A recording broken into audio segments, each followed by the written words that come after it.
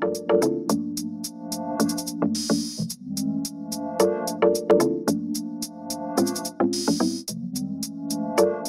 Transferir buenas prácticas para vuestra, vuestras empresas. Yo, mm, dicho esto, paso a, presentar a María Luisa Ulgar, que es coordinadora de la... Mm, estaba diciendo que ella, además de coordinar esta iniciativa, una iniciativa bastante ambiciosa, también bastante estimulante, pues tiene su compromiso personal con la igualdad de género en general y con la igualdad de las mujeres en las empresas y particularmente en las empresas del sector tecnológico. Cuando quieras, María Luisa, tuya es la palabra. Pues muchas gracias, Ana, por la presentación. Un placer estar aquí hoy una mañana más con todas las personas que nos siguen y deciros que desde Woman hoy iniciamos la segunda sesión de este ciclo que la semana del día 6 de abril inició Rocío con su presentación y enmarcando dentro de los objetivos de WOMA la iniciativa de medidas de igualdad en las empresas y apostar por el sector TIC, por un sector con la inclusión y participación de la mujer. Nosotros, una vez más, estamos intentando dar visibilidad y dar valor al sector TIC, pero desde una perspectiva de igualdad, donde las empresas apuesten por el valor añadido que suponen las mujeres en, estos puestos de trabajo. Ya sabemos que hay muchas empresas, afortunadamente en Andalucía, dentro de este sector, pero sin, em, incluso tienen, tienen dentro de su plantilla casi 50.000 personas, que no es nada, que es una cosa importante, pero de todas esas personas, tan solo el 27,4 son mujeres y luego las que acceden a mandos intermedios y puestos directivos siguen siendo pocas. Necesitamos, y por eso Woman Digital, que es la iniciativa de la Consejería de Transformación Económica, Industria, Conocimiento y Universidades, quiere apostar para que las empresas del sector integren a estas mujeres y también estén dentro de esos puestos donde tienen representación, porque la tecnología eh, y todo este sector ya sabemos que está dando y va a dar muchos puestos de trabajo. Por lo tanto, no podemos dejar fuera a una parte importante de la sociedad y además todo lo que es el mundo tecnológico no tiene sexo, indistinta, no tiene género, lo, lo, utilizamos de una forma o de otra todas las personas. Pero sí es verdad que en determinadas cuestiones, digamos, por ejemplo, la inteligencia artificial, requiere y precisa también del conocimiento y de la aportación de la otra parte de la sociedad, de ese 50% que son las mujeres, y no podemos dejarla fuera. Hay que intentar que todo lo que se trabaje esté integrado por las dos visiones. Así tendremos una perspectiva mucho más holística, mucho más integradora de la sociedad y donde quepa todo. En el taller que nos ocupa hoy de buenas prácticas para integrar la igualdad de género en las empresas TIC, vamos a intentar sacar a relucir todos los valores asociados a la igualdad de género en la cultura de las organizaciones y cómo estos influyen a la hora de gestionar el capital humano. Nuestro objetivo es promover cambios en la cultura empresarial, que los equipos directivos, ejecutivos y mandos intermedios estén integrados por ambas partes, hombres y mujeres, y que mm, los recursos humanos a la hora de hacer las contrataciones pues tengan en cuenta que lo que importa es el talento y las capacidades, más allá si eres hombre o mujer. Como todo este tema despierta mucho interés, desde Woman Digital pensamos que dentro de las líneas que trabajamos, el capital humano, las medidas de igualdad en empresa tenían mucha, podían despertar mucho interés y para ello nos hemos servido de estos talleres que consisten en un ciclo con tres sesiones por un lado y otras tres sesiones por otro, para que no pueda haber una, pueda haber otra, aunque siempre hay algunas modificaciones de las empresas que participan o en las ponencias que se hacen, pudieran aprender de todo lo que significa otras empresas que ya han recorrido este camino y lo que les pueden aportar. Por otra parte, ahora Lucía Benítez, que es una experta en materia de igualdad de género, nos va a dar su masterclass, nos va a poner sobre la mesa todas las ventajas, todo lo bueno que tiene en la perspectiva de género en la empresa, pero también lo que nos perdemos si no se utiliza. A continuación, como ha dicho Ana, mm, tendremos la práctica, la experiencia, el recorrido, todo lo que Vodafone lleva haciendo ya mucho tiempo y que tan buenos resultados le ha dado. Alejandro Montoro nos va a poner aquí de manifiesto cómo desde su empresa se trabaja la igualdad de género. Y ya en la fase final, pues tendremos esa sesión de coaching en la que tenemos la oportunidad de tener una entrenadora aquí que nos va a dar las claves y que le podemos preguntar y que ella nos diga cómo poner en práctica y qué podemos mejorar en nuestras empresas. Así que por mi parte, muchas gracias y a continuación Lucía nos hará su presentación. Bueno, muchas gracias María Luisa y muchas gracias tanto a Woman Digital como a SICAS por permitirme estar aquí de nuevo y contaros un poco del análisis de la actualidad desde una perspectiva de género cruzado con tecnología, una mezcla de elementos que, con los que quiero que sea más fácil comprender por qué es tan importante que haya diversidad e igualdad dentro de las empresas del sector TIC. Y entonces voy a empezar eh, hoy precisamente con, con, un libro. Este libro de Hans Rosling, que ha fallecido recientemente y es su libro póstumo, es un, libro que nos habla de por qué no pensamos distinto, por qué nos limita el pensamiento la reproducción y por qué seguimos en la trampa que ya nos desveló Einstein sobre que si hacemos lo mismo por el mismo procedimiento obtendremos los mismos resultados. Así que como estamos en época de revisión, tenemos que revisar qué es lo que ha ocurrido, por qué hemos llegado a este punto de inflexión, por qué una pandemia nos ha dejado casi exhaustos y, qué perspectivas de futuro tenemos por delante, eh, os, voy a enumerar las razones por las que Hans Rosling, que es un experto en datos, en realidad su profesión fue médico, pero fue quien revolucionó, en primer lugar la industria de los datos, eh, creando herramientas de, visualización de información, como es una ONG que se llama Gapminder, con la que, bueno, que finalmente la adoptó, era una ONG, pero la adoptó la ONU para la visualización de todos los datos de, desarrollo, por ejemplo. Bueno, pues después de una vida entre datos, eh, Rosling piensa que los problemas que, nos distorsionan a la hora de comprender la realidad son estos, ¿no? La forma en que dividimos las cosas en vez de analizarlas de conjunto, ese, ese aspecto de, percibir primero lo negativo antes que lo positivo, que está también relacionado con el miedo, con la culpa, con tradiciones culturales y religiosas, ¿no? Y eh, cómo generalizamos y creamos estereotipos. Y ahí es donde estamos siempre en el problema más básico de todos. Evidentemente los, estereotipos se generalizan y se construyen no solamente en torno a la realidad de hombres y mujeres, sino se construye en torno a un montón de cosas, porque ha sido el, atajo sencillo para comprender la realidad compleja. Y ahora hay que empezar a desarticular los estereotipos porque necesitamos ver que la realidad es más compleja y hay muchos elementos que se nos escapan cuando, por ejemplo, analizamos la realidad desde un punto de vista único, cuando creemos que la única forma y la única lógica de afrontar un problema o un reto es siempre la misma.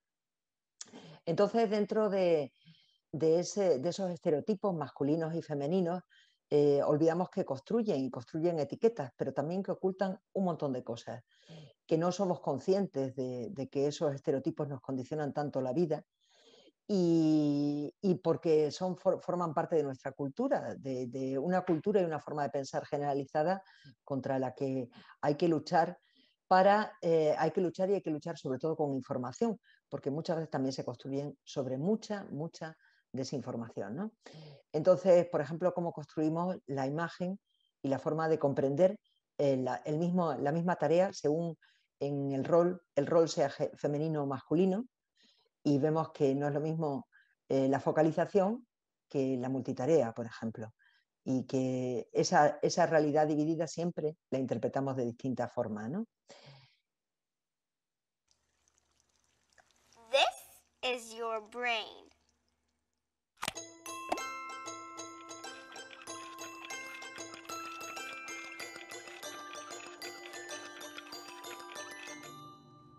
This is your brain on Princess.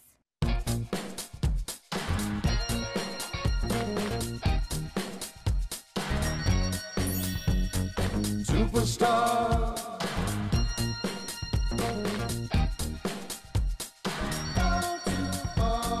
Superstar. This is your brain on engineering.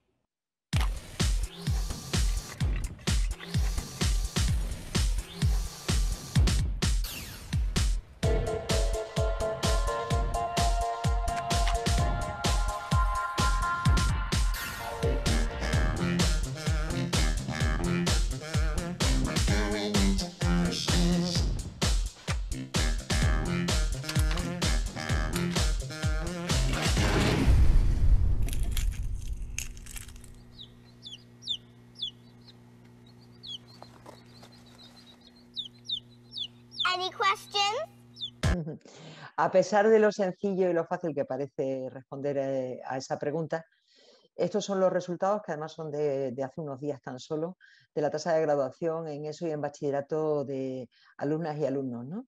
Y vemos cómo las chicas dominan, dominan, tienen mejores resultados académicos y sin embargo, ¿qué ocurre luego? Bueno, pues ocurre que las mujeres solamente están en los grados de educación y salud y servicios sociales y en cambio tenemos el problema de la ingeniería, la industria, la construcción y la informática como el peor de todos los resultados. ¿Y qué ocurre? Porque no es un problema de ciencias exclusivamente. Vemos que, por ejemplo, en el sector sanitario eh, se construye prácticamente de una forma íntegra sobre la ciencia, pero va orientado hacia las necesidades humanas, hacia los problemas sociales. Y conforme cada vez vemos menos eso en los sectores, menos mujeres aparecen. Así que eso también está relacionado con ese, problema que, que, existe sobre cuál es la capacidad de las mujeres para afrontar los retos, que está muy ligado a una construcción social y cultural sobre cuál es nuestro rol en el mundo. ¿no? Y vemos que eh, hay una brecha de género solamente en la forma en que se perciben las mujeres a la hora de afrontar el reto de determinadas asignaturas. Tienen mejores resultados que los hombres y sin embargo piensan que no son capaces. Y esto no solamente llega en el, en el, terreno de las calificaciones académicas, sino en montones de prácticas. Esto, por ejemplo, es el resultado de un experimento eh, sobre, eh, bueno, varios experimentos, en realidad es un estudio bastante amplio, en el que eh, se, se, ponen distintas pruebas de capacidad espacial, de capacidad de análisis, etcétera, y los resultados son muy buenos para las mujeres cuando eh, solamente analizan si han acertado o no. Pero en el momento que entra la competitividad, empiezan a desbancar los hombres eh, claramente a las mujeres porque la educación y la cultura ha hecho que los hombres entiendan la competitividad y las mujeres la colaboración y la cooperación. Así que por eso también eso se refleja en las grandes empresas del mundo. Este también es el, único, el último informe de Price Waterhouse y, y vemos que conforme el nivel de, en la dirección de las empresas es más alto, menos mujeres hay. Y hay un síndrome que se llama el síndrome de la, impostora que refuerza este círculo permanentemente. Es decir, que ya hemos visto que ya desde 5, 7, 8 años de edad como mucho, las niñas tienen una percepción de su capacidad muy por debajo de los hombres, luego hay una preocupación por lo físico y por ser eh, eh, aceptadas por su belleza y por su estética, luego se convierten en personas de alto rendimiento y muchísima capacidad en la universidad, pero a partir de ahí empieza la vida laboral y ya empezamos a encomendarnos a otras razones. Por ejemplo, la suerte. ¿Es la suerte la razón por la que las mujeres llegan a, a su puesto? No, evidentemente, pero se entiende así cuando se trata de mujeres. También se entiende que las mujeres se tienen que esforzar muchísimo más y que además hay que renunciar a toda la parte de tu vida personal, de tu vida familiar, si realmente quieres destacar en el trabajo porque el entorno laboral suele estar eh, dominado por valores masculinos y la competitividad es esencial. ¿no? Y bueno, y al final genera una serie de, de problemas de, de salud para las organizaciones y para las personas.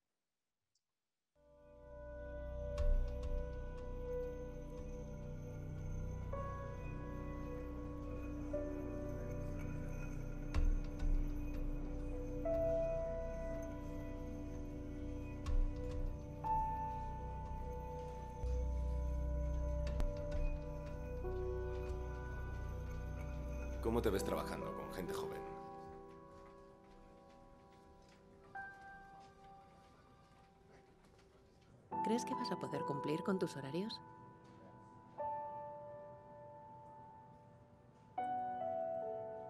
¿Hay alguna tarea que te suponga algún problema?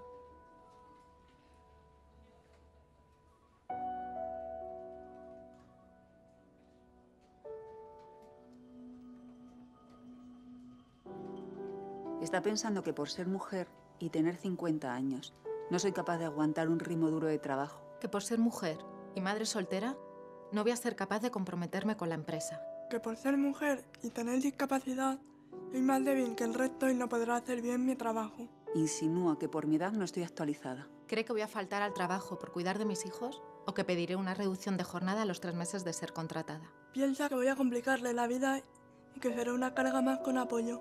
Y que no tengo la energía suficiente para afrontar nuevos retos. Porque soy mujer y tengo discapacidad. Porque soy mujer y madre soltera. Porque soy mujer y tengo 50 años.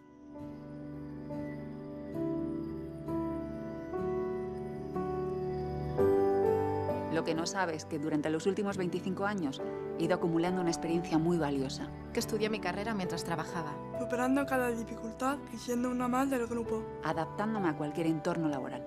Y que cuando alguien confía en mí, mi esfuerzo y compromiso son el doble.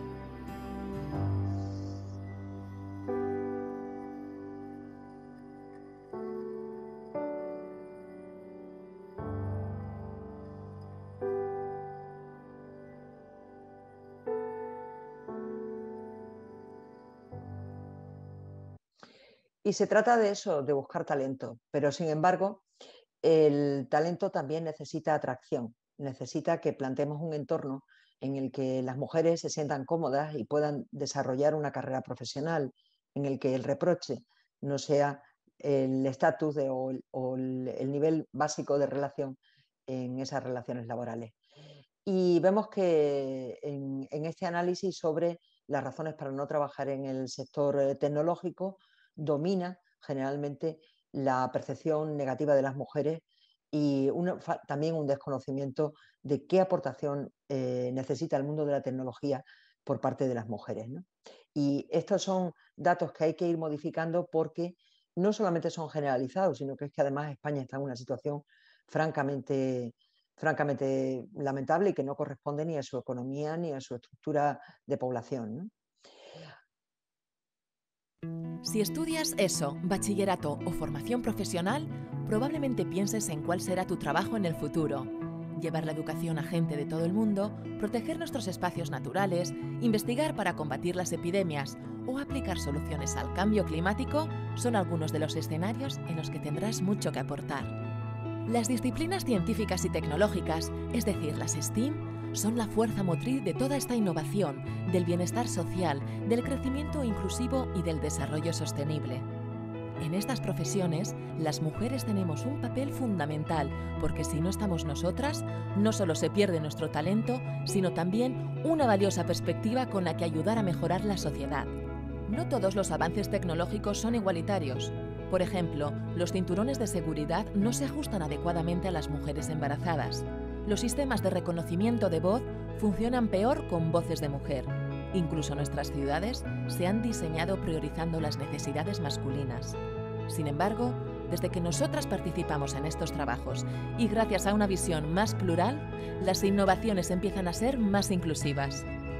Las mujeres estamos desarrollando ya tecnologías para reducir la contaminación y diseñar una movilidad más eficiente o para alimentar a la población creciente en todo el mundo. Ahí está el futuro y ahí vamos a estar las mujeres, porque las STEAM necesitan mentes inquietas, necesitan el mejor talento y nuestro talento ya no lo detiene nadie, porque somos mujeres y niñas en pie de ciencia. Ministerio de Educación y Formación Profesional, Gobierno de España. Sí. Bueno, ahora viene precisamente el reto. Eh, estos días, estas últimas semanas, se ha estado negociando y liberando los fondos de la Next Generation de la Unión Europea, unos fondos que suman 7 billones de euros. Es la mayor dotación económica que se ha producido en la historia. Eh, supera incluso los fondos de rescate de la Segunda Guerra Mundial. Y es una oportunidad única, pero las cosas no van bien si no in in intentamos entender que los tiempos están cambiando, que hace falta hacer las cosas de otra forma. Así que en el reparto de los 140.000 millones de euros que le corresponden a España, eh, ya están marcados por la agenda europea. Y la agenda europea considera que la transición ecológica y la igualdad de género son los grandes pilares para una gran inversión en transformación digital y también para la cohesión social y territorial. Estos son más o menos eh, los grandes temas en los que se van a dividir esos 140.000 millones de euros en España y vemos que el tema de la agenda urbana y rural, es decir, la vida, la vida social, eh, la recuperación de, oficios, etcétera, está ahí. También está eh, la necesidad de que los ecosistemas y las infraestructuras realmente no produzcan daños y permitan la recuperación de la naturaleza, la transición energética, otras formas de administración que son fundamentalmente eh, tecnológicas o con soporte de la, tecnología y del gobierno electrónico y el gobierno abierto, la modernización y la digitalización de las empresas, ahí va una gran partida de, fondos, pero también la ciencia, la innovación, eh, la educación y el conocimiento, la nueva economía de los cuidados, porque ahora se llama nueva economía de los cuidados, cuando en realidad los cuidados han mantenido la economía, lo que pasa es que no estaba reconocida como sector. ¿no? Y el impulso a la industria, a la cultura, al deporte, que también eran sectores abandonados, y eh, cambios en los sistemas fiscales. Eh, si vemos el reparto que se va a hacer en España, evidentemente el sector eh, digital se lleva una porción importantísima, pero no será nada de eso posible si no pasamos por las demás temáticas. Así que los nuevos criterios están relacionados con la ecología, con esa transformación digital, pero con la sociedad, la salud y la resiliencia. Y todo eso ocurre justo en el mismo momento que acaba de salir el barómetro de la confianza internacional, el Edelman eh, barómetro, que es, un, que es un barómetro que mide la confianza de las empresas desde el año 2000. Y desde entonces, sistemáticamente, el número uno en todo el ranking era de las empresas tecnológicas. Pero las cosas cambian. Y ahora, por primera vez en la historia, en, estos 21 años, no solamente cae eh, la confianza en las empresas tecnológicas, que ha llegado a estar a 30 puntos del siguiente sector, sino que no solamente cae, sino cae y cae en 10 puntos eh, como lugar más próximo al siguiente sector.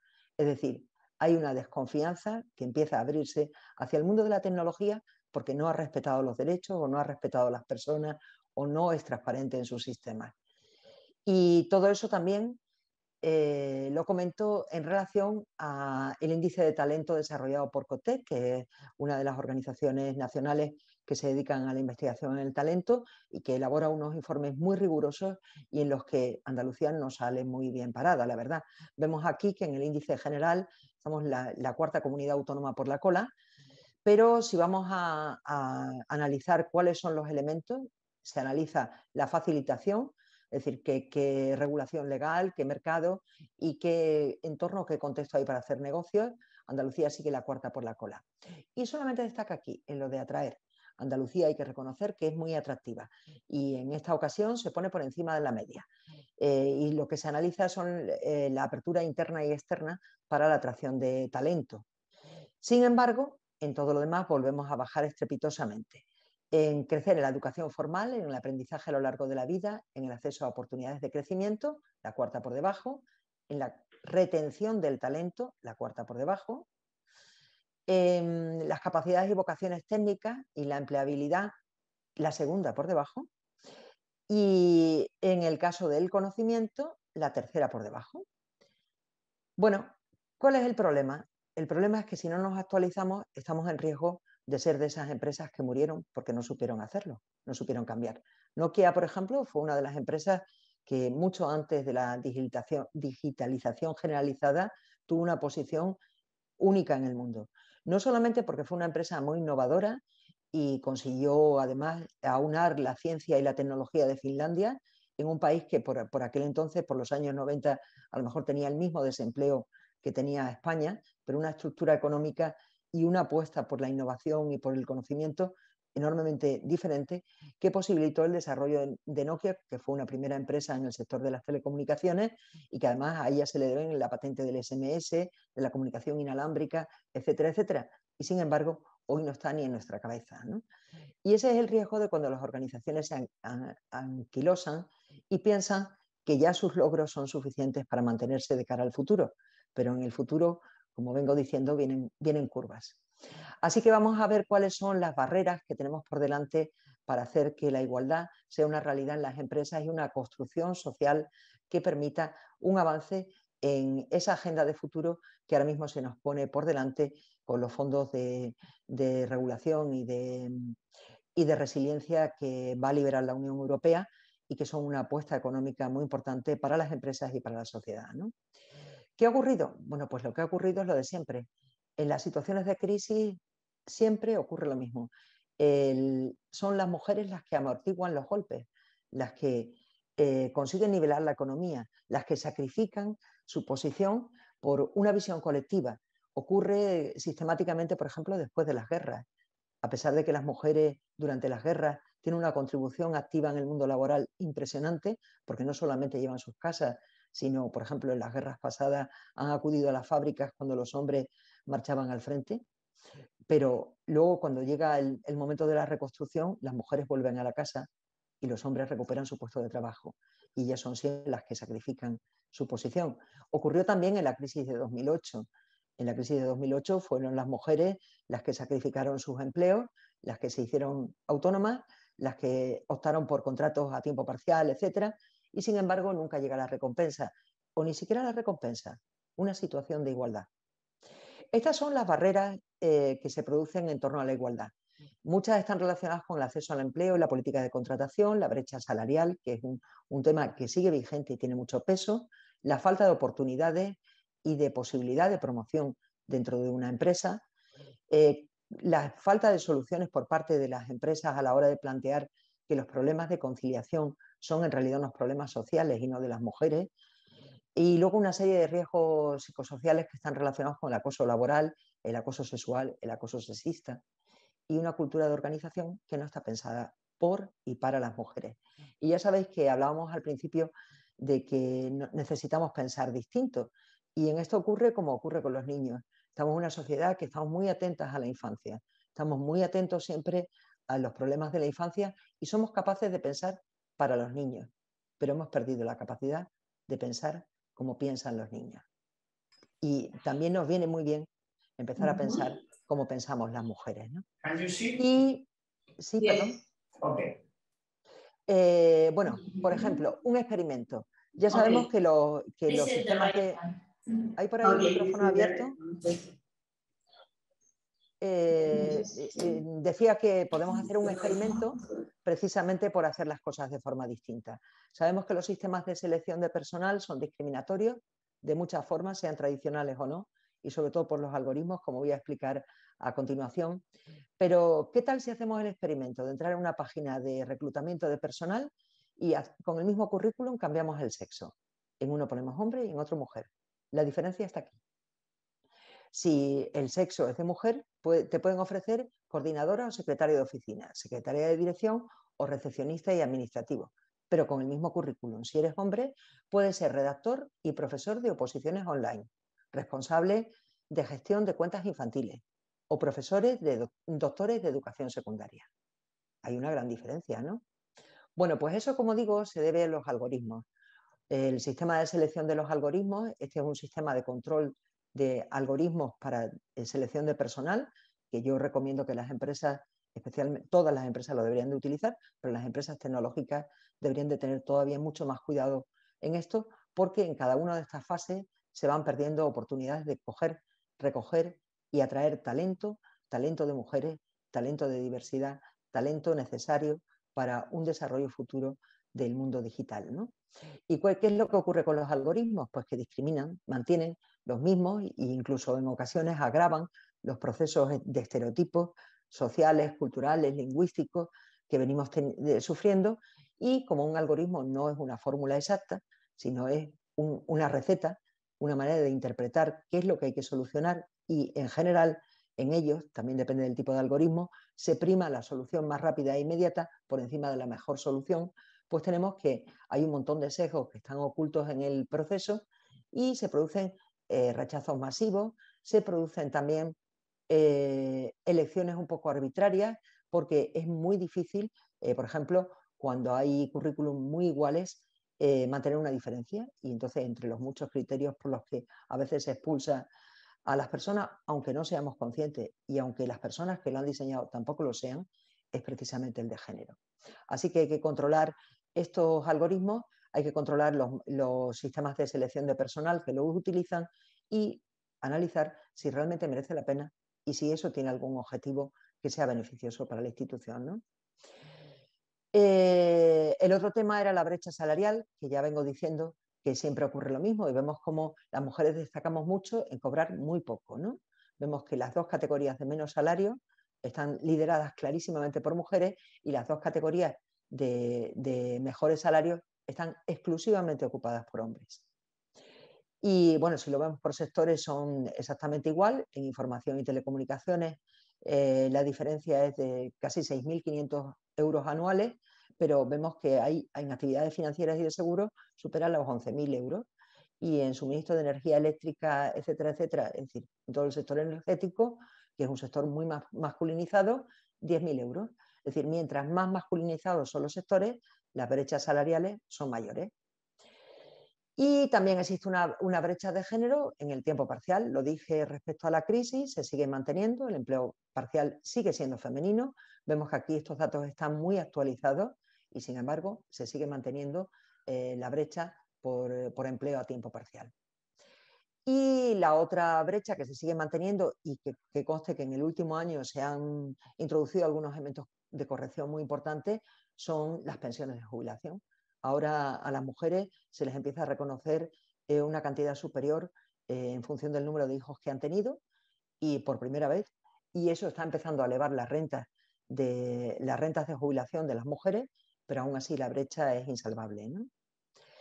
Luego también está el eterno tema, ¿no? El tema de quién se dedica a resolver los problemas familiares, sociales, los problemas de los hijos, de las personas mayores, el problema de los cuidados. Y vemos que solamente hay una ocasión en la, que, en, la que los hombres y las mujeres tienen la misma situación, que es el, cuidado o educación de nietos. ¿Por qué? Pues porque están jubilados. Entonces no trabaja ninguno de los dos y los dos le dedican el mismo tiempo. Pero si se trata de sacar tiempo extra de tu tiempo personal para lo social, para lo familiar o para solucionar problemas, ahí dominantemente el perfil es femenino. Este es el estudio que se ha presentado hace pocos días eh, sobre la conciliación en Andalucía y vemos que las mujeres se sienten solas por ser la, persona más responsable o la única persona responsable de todo el, trabajo de cuidados, de todo el trabajo de reproducción y de mantenimiento. ¿no? Y que ese equilibrio entre la vida personal y familiar en general es muy malo, sobre todo en empresas y en autónomos, algo mejor en el caso de, las instituciones públicas. pero se interpreta mucho mejor si vemos cuántas son las mujeres que, con hijos que renuncian a su puesto de trabajo y cuántos son los hombres. También hay una diferencia abismal. ¿no? Y me gustaría que escucharais un fragmento de esta charla de una de las directivas de Facebook porque son de estas mujeres que han llegado a su sitio y han aprendido cosas en este camino. I gave this talk at Facebook not so long ago to about 100 employees. And a couple hours later, there was a young woman who works there sitting kind of outside my little desk, and she wanted to talk to me. And I said, okay. And she sat down and we talked, and she said, I learned something today. I learned that I need to keep my hand up. I said, what do you mean? She said, well, you're giving this talk, and then you said you're going to take two more questions, and I had my hand up with lots of other people, and then you took two more questions, and I put my hand down, and I noticed all the women put their hand down, and then you took more questions. Only from the men. And I thought to myself, wow, if it's me who cares about this, obviously, giving this talk, during this talk, I can't even notice that the men's hands are still raised and the women's hands are still raised. How good are we as managers of our companies and our organizations at seeing that the men are reaching for opportunities more than women. We've got to get women to sit at the table. Number two. Message number two make your partner a real partner. I've become convinced that we've made more progress in the workforce than we have in the home. The data shows this very clearly. If a woman and a man work full time and have a child, the woman does twice the amount of housework the man does, and the woman does three times the amount of childcare the man does. So she's got three jobs or two jobs, and he's got one. Who do you think drops out when someone needs to be home more? The causes of this are really complicated, and I don't have time to go into them. And I don't think Sunday football watching and general laziness is the cause. I think the cause is more complicated. I think as a society, we put more pressure on our boys to succeed than we do on our girls. I know men that stay home and work in the home to support wives with careers, and it's hard. When I go to the mommy and me stuff and I see the father there, I notice that the other mommies don't play with him. And that's a problem because we have to make it as important a job, because it's the hardest job in the world, to work inside the home for people of both genders if we're going to even things out and let women stay in the workforce. Studies show that households with equal earning and equal responsibility also have half the divorce rate. And if that wasn't good enough motivation for everyone out there, they also have more, mm, how shall I say this on this stage? They know each other more in the biblical sense as well. Message number three don't leave before you leave. I think there's a really deep irony to the fact that actions women are taking, and I see this all the time, with the objective of staying in the workforce actually lead to their eventually leaving. Here's what happens we're all busy, everyone's busy, a woman's busy, and she starts thinking about having a child. And from the moment she starts thinking about having a child, she starts thinking about making room for that child. How am I going to fit this into everything else I'm doing? And literally from that moment, she doesn't raise her hand anymore. She doesn't look for a promotion. She doesn't take on the new project. She doesn't say, Me, I want to do that. She starts leaning back. The problem is that, let's say she got pregnant that day, that day, nine months of pregnancy, three months of maternity leave, six months to catch her breath. Fast forward two years, more often, and as I've seen it, women start thinking about this way earlier. When they get engaged, when they get married, when they start thinking about trying to have a child, which can take a long time. One woman came to see me about this, and I kind of looked at her. She looked a little young, and I said, So, are you and your husband thinking about having a baby? And she said, Oh, no, I'm not married. She didn't even have a boyfriend. I said, You're thinking about this just way too early. But the point is that what happens once you start kind of quietly leaning back? Everyone who's been through this, and I'm here to tell you, once you have a child at home, your job better be really good to go back because it's hard to leave that kid at home. Your job needs to be challenging. It needs to be rewarding. You need to feel like you're making a difference. And if two years ago you didn't take a promotion and some guy next to you did, if three years ago you stopped looking for new opportunities, you're going to be bored because you should have kept your foot on the gas pedal. Don't leave before you leave. Stay in. Keep your foot on the gas pedal until the very day you need to leave to take, to take a break for a child, and then make your decisions. Don't make decisions too far in advance, particularly ones you're not even conscious you're making.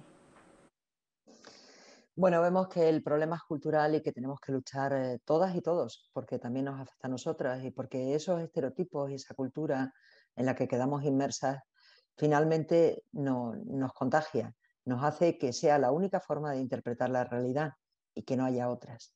Y es muy importante despegarse de esa forma de haber hecho siempre las cosas, porque los retos que vienen por delante son unos retos que nos conducen a otro tipo de sociedad, a una sociedad en la que la tecnología va a tener un peso definitivo, esencial, pero necesitamos otra tecnología que nos permita afrontar ese reto. Y no podemos permitirnos nunca el lujo de que solamente lo construyen los hombres. Muchas gracias. Muchas gracias, Lucía, como siempre. Compartes conocimiento, pero sobre todo nos invita a la reflexión, que es lo, más importante y es el objeto de estas acciones, ¿no? Reflexionar acerca de cómo mejorar cada uno desde nuestros ámbitos, pero principalmente desde la pequeña empresa que recordemos que es la inmensa mayoría del tejido productivo mm, andaluz. Yo me voy a permitir una pequeña digresión. Qué bien que traiga a este foro el síndrome de la impostora, ya analizado, ya sabido lo que en otra época, más eh, en tiempos pasados, eh, hemos denominado lo que ha devenido en el malestar de género, esa ansiedad a la que tú referías, esa tensión que producen las mujeres, tener que ser top en los estudios, top profesional, top en madre, como en modo madre, como hemos visto en esta última intervención, y la vida no da para tanto, eso ya lo sabemos y por tanto se genera un cuadro que yo como psicóloga pongo encima de, de la mesa de ese malestar de género que deviene en cuadro ansioso depresivo. Bien traído, porque llamar a las cosas por su nombre nos ayuda también a avanzar en el, conocimiento. Eh, también ese foco que se ha puesto, que es uno de los objetos de, los objetivos de Woman Digital, de la iniciativa Woman Digital, que es atraer y retener talento y promocionar al talento femenino a puestos de posicionamiento directivo. Por tanto, hacer reflexionar a las empresas y como este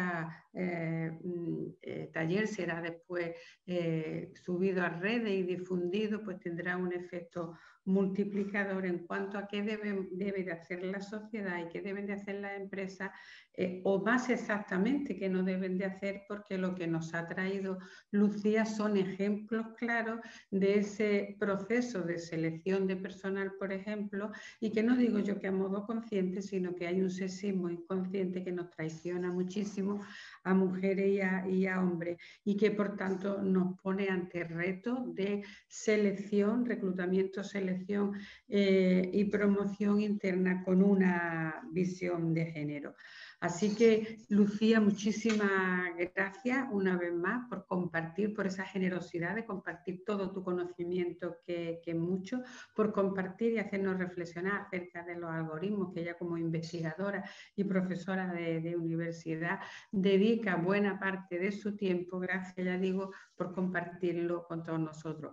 Abrimos un turno de intervención. Muchas gracias a vosotras. Yo no, no, sé si alguien tiene alguna pregunta o alguna cuestión.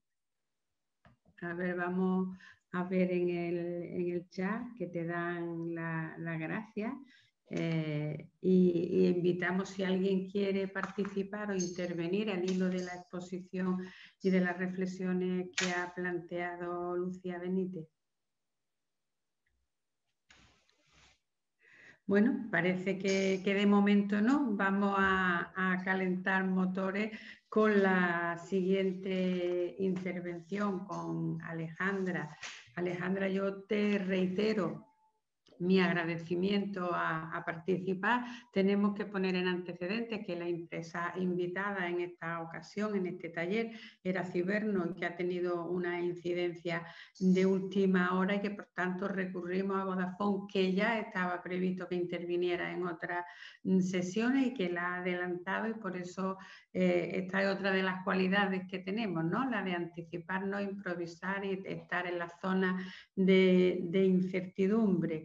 Eh, yo tengo que decir, antes de presentar a Alejandra, que Vodafone, la empresa a la que ella pertenece, ha estado siempre mm, disponible, en disposición y a full time con una proactividad mm, tremenda, cuestiones que agradezco yo, pero que agradece en todo caso la Junta de Andalucía y la, y la Consejería.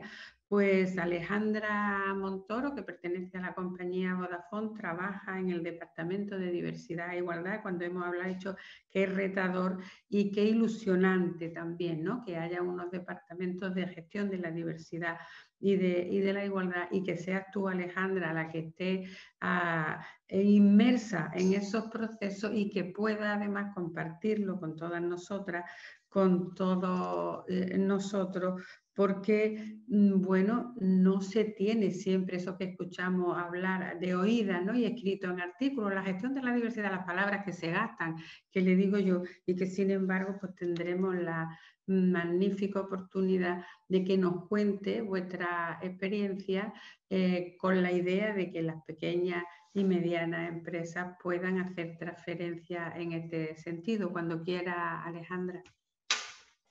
Pues muchísimas gracias, Ana, y muchas gracias también a Woman Digital y a María Luisa por invitarnos a, esta sesión. Eh, a nosotros la verdad que nos encanta colaborar en estas iniciativas eh, porque estamos muy orgullosos de, lo que hacemos en tema de diversidad. Todavía queda muchísimo camino por, por delante, pero para nosotros es un placer estar aquí, compartir las prácticas que hacemos y si podemos inspirar a algunos compañeros en, en otras empresas, pues mejor que mejor, ¿no? Y muchas gracias también a, Lucía por la ponencia que ha hecho, que me ha encantado. He tomado nota además de algunos de, los vídeos que los compartiremos en, en, alguna charla que damos nosotros con empleados también y me ha parecido súper interesante eh, que presente datos, ¿no? que a veces que parece que este discurso es un discurso así más social y la verdad es que está respaldado por un montón de datos y, de estudios por detrás, así que muchísimas gracias. Eh, no sé, Nuria, si puedes compartir la presentación, por favor. Sí, claro. Y mientras arranca... Claro, gracias.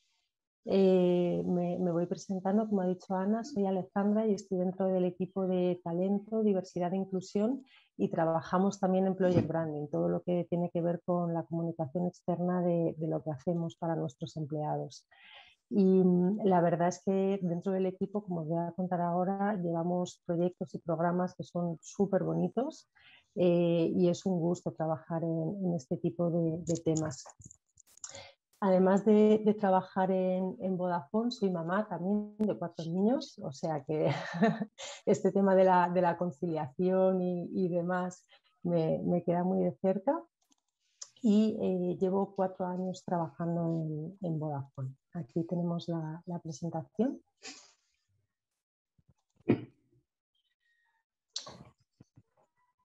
A ver si se ponen ahora. Perfecto. Muchísimas gracias, Nuria. Nada. Pues, como comentaba, he preparado esta presentación donde os voy a comentar un poco más en detalle cuál es la estrategia que seguimos dentro del apartado de diversidad e inclusión en Vodafone y además después he hecho foco en todo lo que tiene que ver con diversidad de género y cómo lo trabajamos nosotros. Si puedes avanzar, María, por favor. Eh, lo que traigo es en cuatro puntos. Por un lado, todo lo que son los objetivos, los beneficios, en qué basamos nuestra estrategia, cuáles son las dimensiones que trabajamos dentro de, diversidad y después este foco en diversidad de género y en qué pilares asentamos nosotros nuestra estrategia o dónde creemos que es importante poner el foco para que de verdad las acciones que realicéis puedan tener un impacto interno y externo. Pues si pasamos a la siguiente diapositiva, empezamos con el por qué y para qué eh, hacemos lo que hacemos en, Vodafone. Por un lado, y yo creo que esto es eh, la mejor forma de, empezar, nosotros tenemos todo lo que tiene que ver con diversidad, lo tenemos dentro de nuestro propósito de marca. ¿Vale? Entonces, la pregunta de por qué lo hacemos, eh, nuestra respuesta es porque es lo correcto. ¿no? Nosotros en el propósito de marca tenemos tres pilares. Tenemos un pilar de eh, sociedad digital, de cómo ayudamos desde Vodafone a digitalizar las comunidades y, las distintas sociedades. Tenemos un pilar de planeta, de todo lo que tiene que ver con toda la corriente de ecología. Y nuestro tercer pilar es eh, Inclusion for All, porque nosotros todo es el mix de, inglés y castellano. Eh, entonces, de todo lo que es Vodafone a nivel global, con sus casi 100.000 empleados, uno de nuestros tres propósitos de marca tiene que ver con diversidad. En primer lugar, porque somos una compañía absolutamente multicultural y que tenemos presencia en países eh, que son completamente diferentes, entonces tiene todo el sentido para nosotros desde el punto de vista de la empresa, pero también porque tenemos ese objetivo social de no dejar a nadie atrás, ¿no? es como nosotros traducimos este Inclusion for All, es eh, asegurarnos que nadie se quede atrás en, nuestras sociedades y en nuestras comunidades. ¿Qué objetivo tenemos? Eh, mostrar el compromiso de la compañía con un tema tan importante como es la diversidad y además generar bienestar tanto para nuestros empleados como para eh, la gente que nos rodea. Nosotros desde Vodafone siempre hablamos de personas, de comunidades y de sociedad como los tres niveles en los que intentamos tener una influencia a través de todo lo que hacemos en temas de diversidad. Y los beneficios son múltiples. El más obvio siempre es el de reputación, o el que primero nos puede venir a todos a la cabeza, pero la verdad es que tiene un impacto, por ejemplo, en innovación, porque los equipos diversos son más creativos. ¿vale? Tiene un impacto en, la mejora del, clima laboral, en el compromiso que tienen los empleados con la compañía, todos estos temas relacionados con la parte más social, como en este caso puede ser la, la diversidad, genera que los empleados estén más comprometidos con la compañía y tengan una mejor visión de ella y eso se traduce, por ejemplo, en una menor rotación, en cómo hablan de nosotros cuando están fuera de la oficina. Significa que somos capaces de atraer mejor talento porque tenemos embajadores de marca, porque los eh, empleados están orgullosos de lo que se hace dentro de la empresa. Y otros temas que también tienen que ver con la diversidad es, por ejemplo, la resolución de, retos, que está muy relacionada con la innovación, la capacidad que tenemos de acercarnos más a los clientes porque tenemos más visiones dentro de la compañía de cuáles son las necesidades que pueden tener estos clientes. Y sobre todo ese impacto en la comunidad que para nosotros es muy eh, relevante. No miramos solo hacia adentro, sino que miramos también cuál es el impacto que tenemos fuera con las medidas que, adoptamos para nuestros empleados. Para diseñar las estrategias de diversidad e inclusión, eh, nosotros tenemos estas cuatro Cs que están traducidas del inglés y de ahí la palabra colega, ¿no? que en inglés significa este compañero de trabajo. ¿no? Entonces, cuando sacamos estas políticas y estos programas, lo que nosotros nos preguntamos es, va a tener un impacto positivo en nuestros clientes y en cómo nos ven los clientes, va a tener un impacto positivo en nuestros compañeros de trabajo, va a tener un impacto en las comunidades y estamos siendo capaces de comunicarlo de una forma activa y positiva. Y yo creo que en esas cuatro preguntas es donde radica un poco la clave de cuáles son las políticas que cada uno en su nicho, en su empresa, puede decidir sacar o no adelante. Luego hay que hablar de presupuestos, de alineación con, la cultura, pero siempre tener presente estas cuatro Cs, ¿no? el impacto en clientes, el impacto en empleados, el impacto en comunidades y la estrategia de, comunicación. Para nosotros diversidad e inclusión eh, no es solo eh, en este caso género, ¿vale? porque eh, vemos la diversidad como todo lo visible, pero también lo que no es visible. Y si podemos pasar a la siguiente página, ahora mismo lo que tenemos es una estrategia de diversidad basada en cuatro pilares en función de cuatro colectivos. Es verdad que estamos dando un pasito más allá y estamos empezando a intentar trabajar la diversidad como un todo, eh, aunque después eh, separarlo por colectivos ayuda mucho a hacer programas específicos y a entender las necesidades de cada colectivo por separado. Pero yo creo que el siguiente paso es ver la diversidad de una forma más em, transversal porque estos, estos colectivos se cruzan, ¿no? O sea, uno puede ser mujer y pertenecer además al colectivo LGBT o tener capacidades diferentes o pertenecer a una generación que es eh, o los senior o, los jóvenes. Entonces, hay mucho cruce entre, entre los pilares y eso hay que tenerlo visible.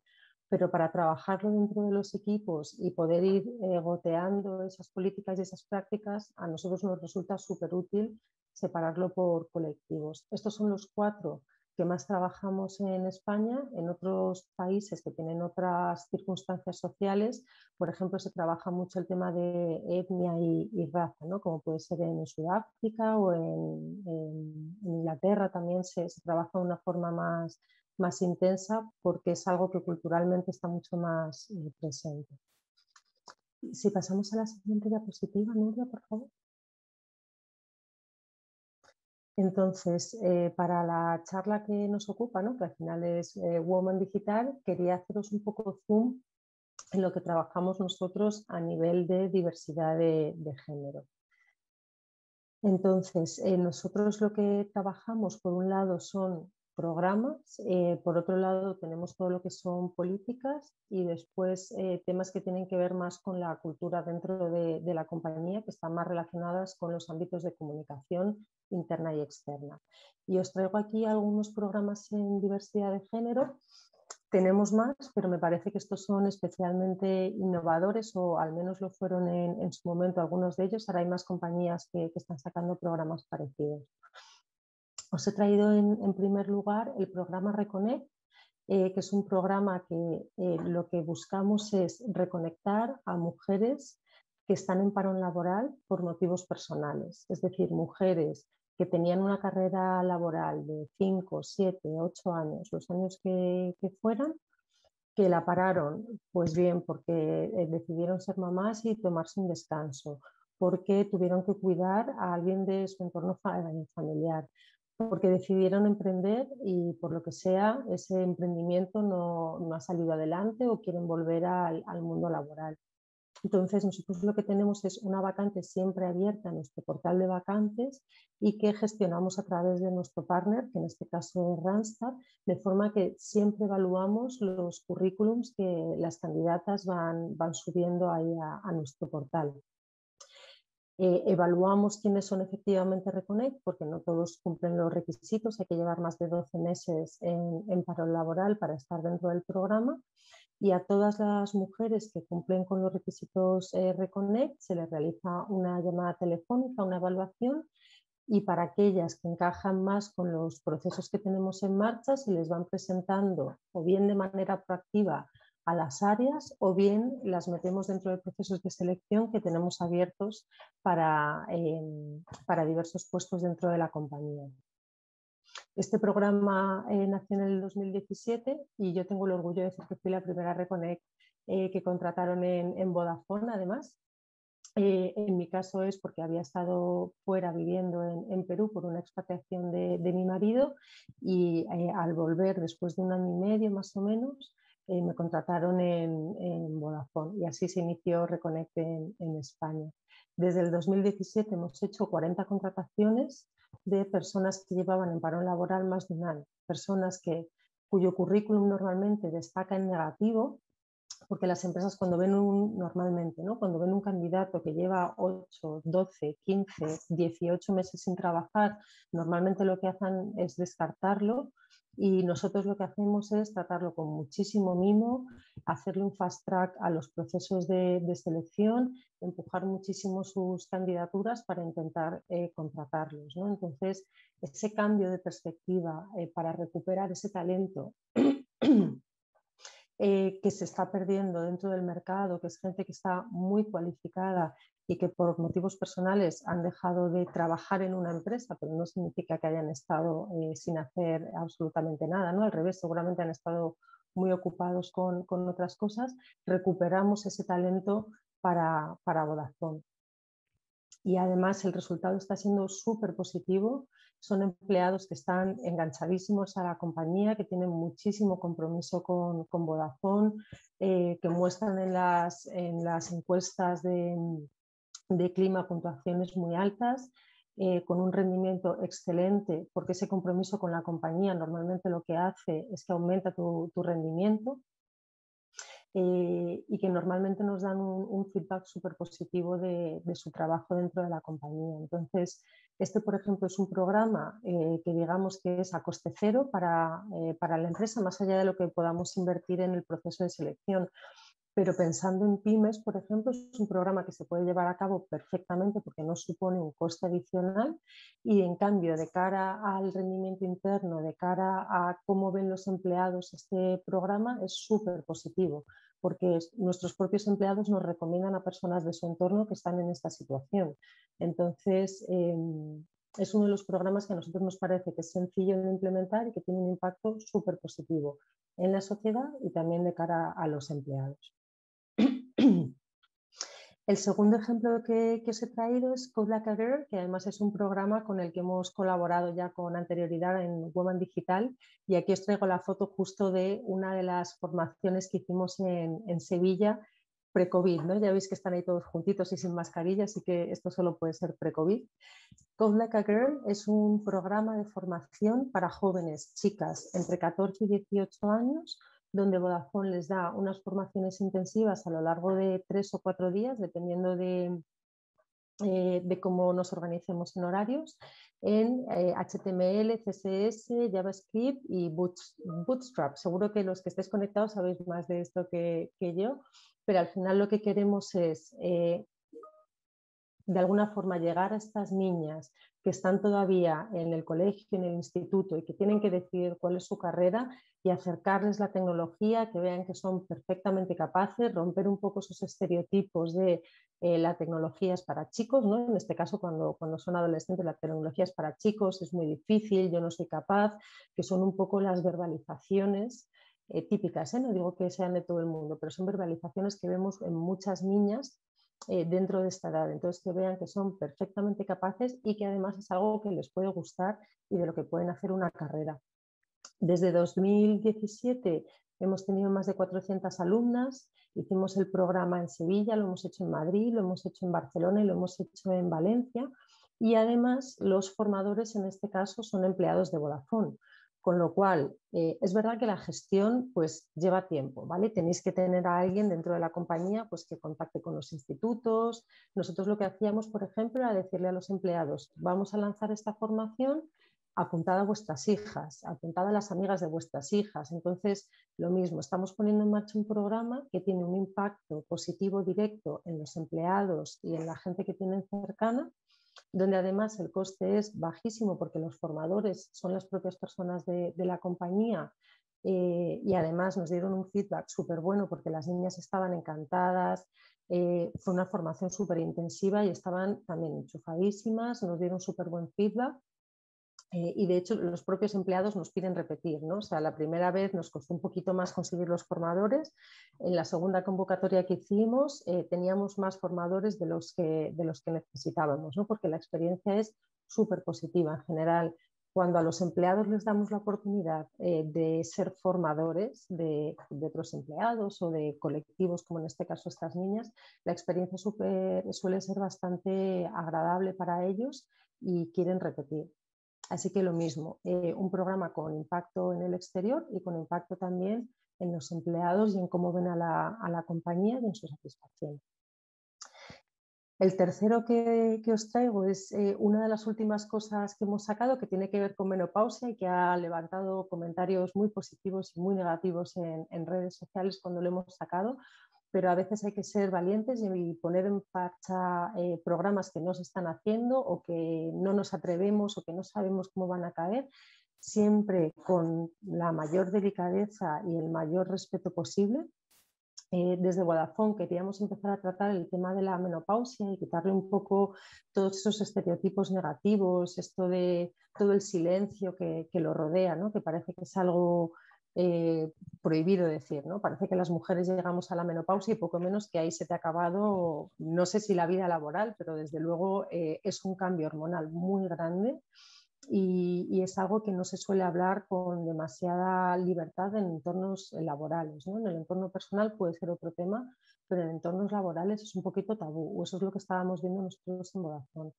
Aquí lo que se hizo fue lanzar un estudio a nivel mundial esto es gracias a toda la cobertura que nos da la, matriz ¿no? a nivel internacional. Se hizo un estudio con muchos miles de personas y en varios países diferentes. Y lo que se vio es que hay un porcentaje importante de mujeres que sufren eh, síntomas que a veces les pueden dificultar el, trabajo en algunos momentos de la menopausia y eh, que hay que ser un poquito más empáticos con, con esos momentos, ¿no? que además son incontrolables porque son causa de, de, temas hormonales y que las compañías deberían empezar a pensar cómo hacer más sencillo a sus empleadas esta transición hormonal que además eh, normalmente pasa durante la, vida laboral, ¿no? porque a partir de los 40 ya hay mujeres que pueden entrar en, la menopausia hasta los 50, 55, entonces están eh, además en un momento de la vida laboral donde hay muchas que ya están en puestos de gestión eh, por la edad y por toda la, la trayectoria y es interesante que lo pongamos encima de la mesa y que veamos qué podemos hacer desde las empresas para apoyarlas y ayudarlas. Nosotros en este caso lo que hemos hecho es, a raíz de ese estudio, estamos generando un toolkit, una, herramienta de formación para, empleados y para los managers de la compañía para que entiendan cómo pueden eh, aproximarse a, una empleada que puede estar pasando por, los inicios de, la menopausia eh, y cómo apoyarla y cómo ayudarla si en algún momento a nivel médico necesita algún tipo de, de apoyo o de extraconciliación por el motivo que sea.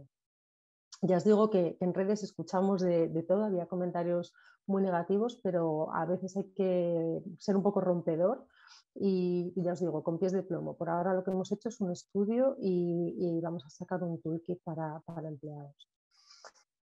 En este caso sí que necesitáis una, una inversión importante y en el cuarto caso que, os traigo, que son formaciones, es verdad que también llevan un coste asociado y a veces son un poquito más difíciles de, implementar. En nuestro caso lo que tenemos es una formación a través de un videojuego eh, que se llama así, con un partner que es externo y es una formación eh, que está orientada a sesgos inconscientes. En la anterior eh, ponencia ya eh, nos han comentado un poco ah, sobre estos sesgos inconscientes que juegan muchísimo papel tanto en los procesos de selección para candidatos externos, candidatas externas, pero también para promociones y visibilización del talento femenino dentro de la compañía. Es verdad que en general, ¿no? esto como todo es estadística, no significa que cuando vayamos caso a caso sea así, pero en general las mujeres dentro de la empresa tienden a visibilizarse menos y a visibilizar menos su trabajo. ¿no? Levantamos menos la mano, eh, generamos menos impacto a, nuestro alrededor, generamos menos redes de, de contacto eh, fuera de lo que es nuestro entorno inmediato y eso nos puede pesar un poco a la hora de eh, promocionar. También levantamos menos la mano a la hora de promocionar. Hay un estudio em, que a nosotros nos gusta mucho sacar, que es cuando se publica un puesto de trabajo, eh, los hombres de media, si cumplen con el 60% de los requisitos que se piden, aplican al puesto. Pero las mujeres necesitan ver que hay una coincidencia de hasta un 90% de las condiciones, de los requisitos del puesto para aplicar. ¿vale? Tienen que estar, tienen que ver que hay mucho alineamiento entre su perfil y lo que están pidiendo para decidirse aplicar. Y los hombres en ese sentido, digamos que son más atrevidos o tienen más confianza o no, no habla de las causas el, el, estudio, pero la diferencia yo creo que habla por sí mismo. ¿no? Entonces, si ya las mujeres se presentan menos a puestos de trabajo, si generan menos visibilidad dentro de la compañía para promocionar, ¿qué podemos hacer nosotros para impulsarlo de cara a los people managers y a los compañeros? Entonces, estas formaciones en sesgos inconscientes eh, quitan un poco em, una parte que sí que podemos tener dentro de nosotros. ¿no? Y si ya se presentan pocas, además no las evalúes dentro de este marco de sesgos inconscientes, ¿no? pensando en lo típico que escuchamos siempre, que va a faltar más al trabajo porque es la que se encarga de los niños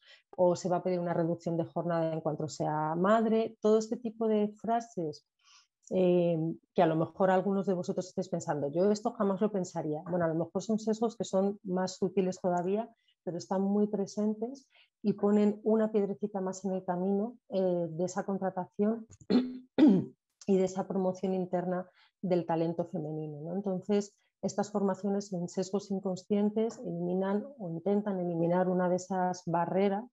Nosotros además trabajamos en formación para el talento femenino interno para ayudarles a eh, darles herramientas para generar más redes de contactos, para ayudarles a definir un plan de carrera y ayudarles a que esa exposición y esa visibilidad la busquen más, ¿vale? Pero trabajamos en los dos ámbitos, en qué es lo que puede trabajar la mujer dentro del ámbito laboral para generar más oportunidades de promoción y qué es lo que podemos trabajar con los managers para eliminar barreras a la hora de la evaluación.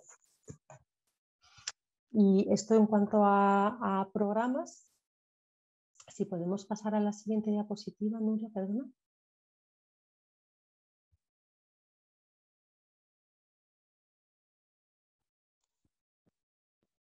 Que va lento ¿eh? Sí, sí, sí. No sé se me está pausando. no te preocupes. Em, y nada, como os comentaba, estos son algunos ejemplos, ya veis que algunos son a coste cero, algunos requieren una inversión bastante grande Em, normalmente en empresas que tienen mayor tamaño pues eh, nos cuesta un poco menos hacer este tipo de inversiones, pero eh, se pueden sustituir por otro tipo de formaciones. ¿vale? Hay algunas formaciones que nosotros hacemos que es en base a contenido curado, eh, que no contratamos digamos a una empresa, sino que lo que hacemos es curar contenido. Por ejemplo, algunos de los vídeos que ha puesto antes Lucía son súper interesantes. Se puede hacer perfectamente una formación pidiéndole a alguien de recursos humanos, por ejemplo, eh, que monte una formación con contenido curado o un pequeño itinerario que puedan seguir los empleados con, contenido curado. Entonces, eh, siempre se puede buscar la forma de bajar el coste para que sea más accesible para empresas que tienen un presupuesto pues que, es menor por la propia naturaleza de, la empresa. En cuanto a políticas internas, eh, aquí tenemos un montón de, políticas, ¿vale? Porque llevamos muchos años trabajando en este tema y os he traído tres que, yo creo que son las que han generado más, más impacto em, en comunicación, ¿vale? Y algunas más impacto en, por la cantidad de empleados a los que toca. Por ejemplo, hace un año y medio más o menos pusimos en marcha una política interna contra la violencia de género a través de la cual lo que hicimos fue contratar a una psicóloga experta externa, de forma que si hay alguna empleada que está sufriendo violencia de género en su entorno familiar, tienen un contacto externo al que pueden llamar de forma totalmente anónima para eh, contarle el, caso. Y lo que hace Vodafone es eh, que a esta persona que está sufriendo violencia de género en el entorno familiar le damos eh, a partir de 10 días de permiso retribuido, es decir, no se le restan de, las vacaciones y se les siguen eh, eh, pagando, ¿vale? Entonces, 10 eh, días como mínimo de permiso retribuido para que pueda hacer las gestiones que sean necesarias, que en este caso puede ser desde denuncias, abogados, traslado de, vivienda, etc. Entonces, además de ese permiso retribuido, pagamos las primeras sesiones con esta psicóloga experta en violencia de género y damos también apoyo al entorno familiar, porque hay veces que en los casos de violencia también eh, puede haber un impacto sobre hijos si lo hay o familiares cercanos.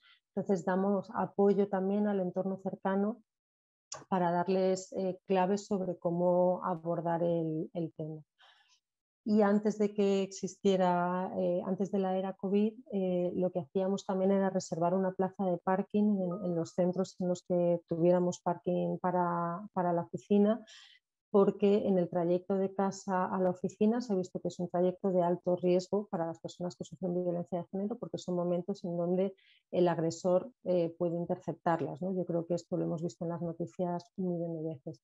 Entonces, para intentar disminuir el riesgo con lo que nosotros podemos aportar, le reservamos una plaza de parking permanente, de manera que no tenga que coger el transporte público, sino que pueda ir en, coche a, la oficina y entrar directamente en el parking para que no tenga pues, que aparcar en la calle y hacer ese trayecto caminando.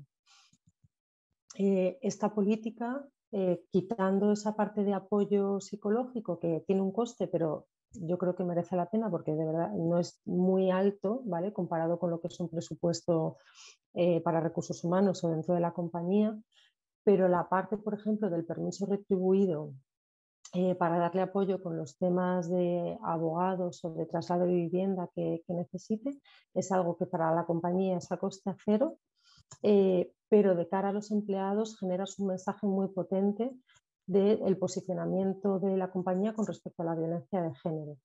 Em, lo idóneo es, obviamente, que esto no lo tengamos que usar nunca porque significa que no tendremos ninguna empleada que, esté en esta situación, eh, pero que sepan que la empresa les va a apoyar y les va a proteger si nos enteramos de que está en, esta situación. ¿vale? Entonces, eh, tender un poco la mano al ámbito personal de los empleados, no circunscribirse solo al ámbito empresarial, también genera impacto y genera un mensaje de cercanía de cara desde la empresa hacia los, empleados. El segundo ejemplo que, que, os he traído es el permiso de maternidad y paternidad ampliado que hemos hecho para empleados.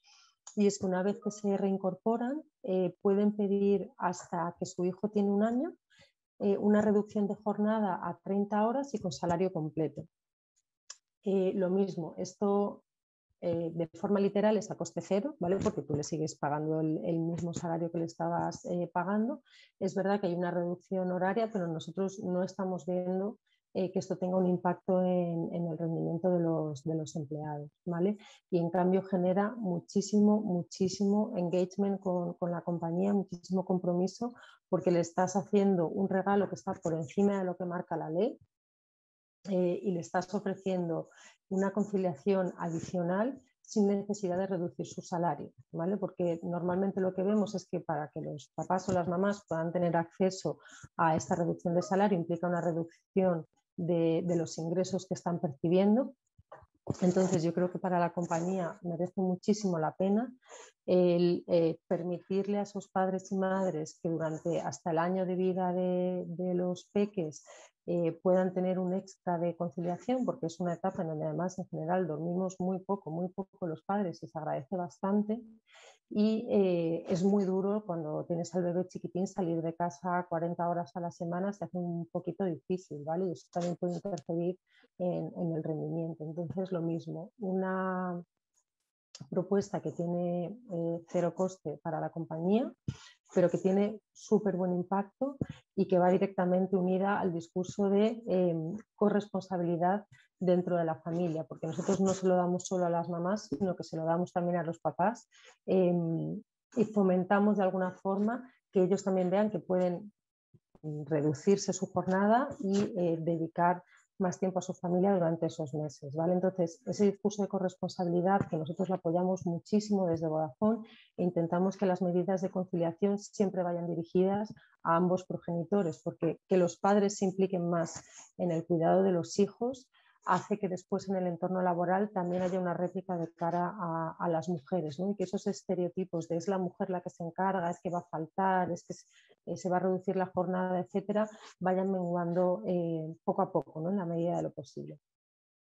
Y por último, eh, otras medidas de conciliación que tenemos, yo creo que ahora mismo con el COVID lo están haciendo las empresas, pero es el tema del trabajo en remoto, ¿vale? Tener una flexibilidad para que los empleados puedan trabajar eh, tanto en remoto como desde la oficina eh, ayuda muchísimo de cara a la organización familiar. Y especialmente lo hemos visto en este año, donde te confinan a uno de los peques una semana, luego un mes no, pero luego te toca que te confinan al otro hijo, o eh, has tenido un contacto estrecho y te toca quedarte en casa. Entonces, que la empresa te facilite esa flexibilidad ayuda muchísimo. Yo lo veo en casa porque mi marido no tiene teletrabajo en su compañía y yo sí, eh, y a mí es que me ayuda un montón y, me hace estar súper enganchada a Vodafone y pensar que realmente nos pone la vida fácil a los empleados y que piensan en nosotros cuando generan las, políticas. Entonces, eh, todo esto al final en lo que redunda es en, en que tienes menos bajas por parte de los empleados eh, que en circunstancias donde si mi marido se tuviera que quedar en casa o bien pide la baja o bien pide vacaciones y yo sin embargo estoy trabajando y estoy rindiendo. ¿vale? Entonces es positivo para ambas partes. Si puedes pasar a la siguiente diapositiva, Nuria, por favor. No, no, he mirado si en el chat hay alguna pregunta. No, no hay ninguna pregunta por ahora.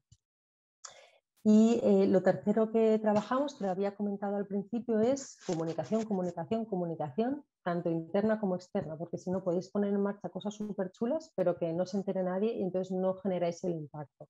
En la Semana de la Mujer es un buen momento para eh, comunicar, ¿vale? Porque es, hay mayor receptividad y se mueven mucho las redes sociales y podéis generar más impacto también en externo con, con lo que hacéis. Algunas de las cosas que nosotros hacemos, por ejemplo, organizamos un speed networking, eh, que es como una especie de cita ciega rápida de esto que te suena la campanita cada dos minutos. Cuando lo hacíamos en presencial, lo que hacíamos era que poníamos eh, un círculo doble de sillas En el círculo interior eh, lo que tenemos son directores de la compañía y en el círculo exterior lo que tenemos son mujeres que están en puestos de especialista, ¿no? en puestos técnicos, digamos, en, las bandas de, de, especialista.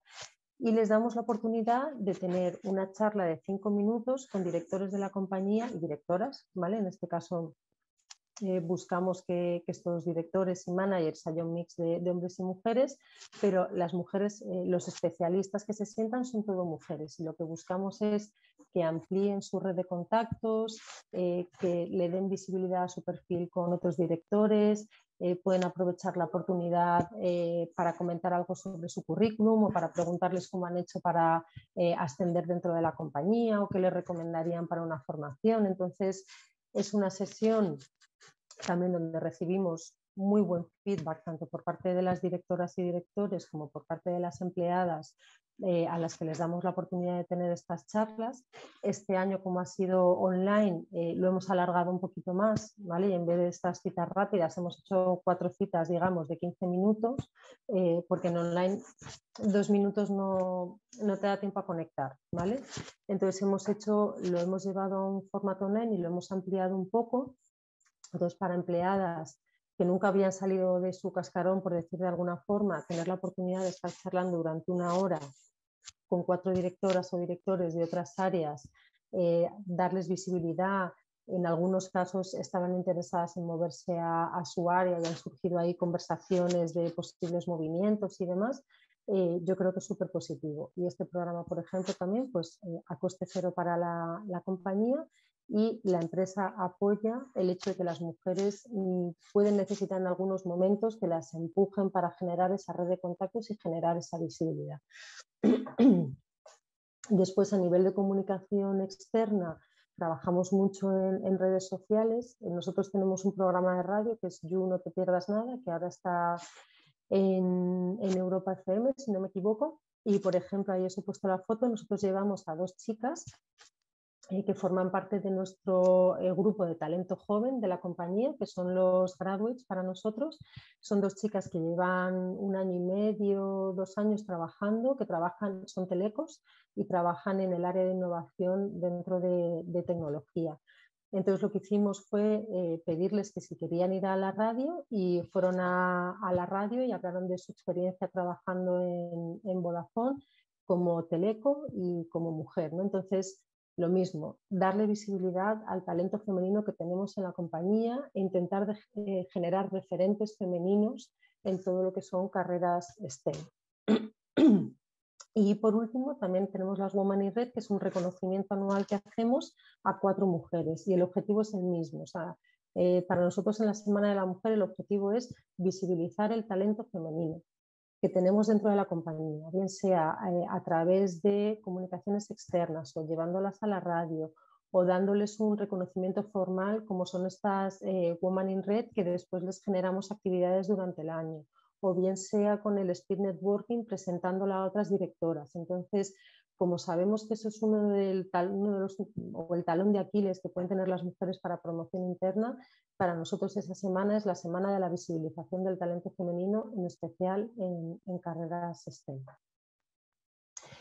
Y con esto ya cierro eh, los ejemplos que, os quería contar. Eh, ya lo último que os quería comentar era en qué basamos nuestros pilares o qué es lo que hemos visto nosotros que nos funciona cuando ponemos en marcha estas políticas. Ahí tenemos el apoyo de la dirección, es fundamental. Esto tiene que venir eh, desde arriba, tiene que ser algo cultural de la compañía. Si lo intentáis implementar desde un departamento de recursos humanos o desde un equipo, os va a resultar súper difícil. Entonces, hay que buscar alianzas porque esto cascadea y se crea desde arriba y cascadea hacia abajo la cultura y es la manera de que perdure en el tiempo y que no sean solo acciones puntuales. Eh, políticas pioneras, a veces hay que atreverse y romper un poco con, lo establecido. Yo creo que todo lo que hemos puesto aquí se hace con el mayor cariño y con el objetivo total de que sea algo positivo. Entonces hay que perder un poquito el, miedo. Eh, hay que tener a alguien dedicado porque ya veis que como mínimo se necesita tiempo para montarlo y dependiendo del presupuesto que tengáis, pues las cosas se hacen más pidiéndole a los empleados el apoyo o pudiendo salir fuera con, una empresa para contratarlo. Eh, nosotros como somos una empresa muy grande tenemos un comité de diversidad e inclusión y ahí la foto que veis en comité de diversidad e inclusión es que se fueron a, eh, en el orgullo LGBT en Madrid, sacamos eh, también hace varios años ya la, carroza y estaba ahí todo el comité de, diversidad e inclusión y lo que hacen es que tienen reuniones trimestrales donde se les va presentando las iniciativas que se van a poner en marcha y recibimos feedback. ¿no? Y es nuestra forma de recibir feedback de los empleados. Y hay empleados de todas las categorías y de todas las áreas en este comité eh, para asegurarnos que lo que ponemos en marcha está alineado con lo que los empleados esperan de nosotros. ¿Vale? Intentamos no hacerlo en el vacío eh, porque podemos ver que invertimos tiempo y dinero en algo que después no tiene impacto. Hemos creado una red local de apoyo a todo lo que tiene que ver con diversidad e inclusión, porque nosotros tenemos como una especie de Facebook interno y ahí colgamos un montón de iniciativas y, hacemos la comunicación interna. Ahora mismo tenemos 650 personas en esta red local de diversidad e inclusión.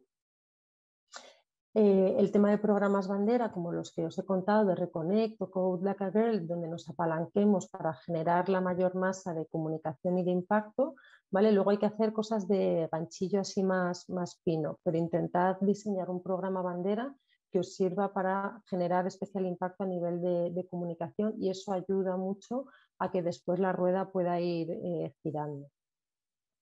Eh, indicadores, fundamental. Nosotros siempre trabajamos en base a, KPIs. Eh, las alianzas, eh, como esta que, hemos generado con Woman Digital, que ya tiene unos años de vida, con la Junta de Andalucía, y colaboramos también con, con, otras entidades en temas de diversidad e inclusión, es fundamental porque intentar remar solo la empresa privada yo creo que no tiene mucho sentido y que aquí la colaboración público-privada eh, genera mucho más impacto y genera mucho más beneficios a nivel de las comunidades, ¿vale? Y eh, es muy importante que tengamos presente también cuál es la eh, agenda a medio plazo que tienen las distintas administraciones para ver cómo nosotros nos podemos unir a las distintas iniciativas que se van proponiendo y cómo podemos apoyarlas también desde las empresas. Eh, toda la parte de formación yo creo que es fundamental para empezar a cambiar la, visión y como os comentaba, comunicación, comunicación, eh, interna, externa, eh, todo lo que podáis para que se vea lo que, lo que estáis haciendo. Y nada más, esto era lo que os quería comentar sobre lo que hacemos en Vodafone. Muchísimas gracias, espero que no haya sido demasiado intenso y que os podáis llevar algunas ideas para trabajar. Si queréis preguntarme cualquier cosa de cómo hemos puesto en marcha cualquier programa, dificultades, lo que, lo que queráis. Pues muchas gracias. Nada más ha terminado y nada menos. Eh, yo voy casi a comenzar por, el final, ¿no? Cuando eh, lanzas el bloque de comunicación, aquello que no se ve, aquello que no se comunica, dicen que no existe o existe de la peor manera mm, posible.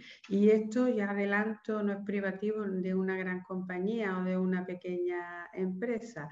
Diseñar el plan o la manera en que queremos estar en el mundo, en que queremos comunicar, es imprescindible porque también hay otra, esto que dice, pues alguien lo hará por ti o, lo harás tú de una manera no acertada, ¿no?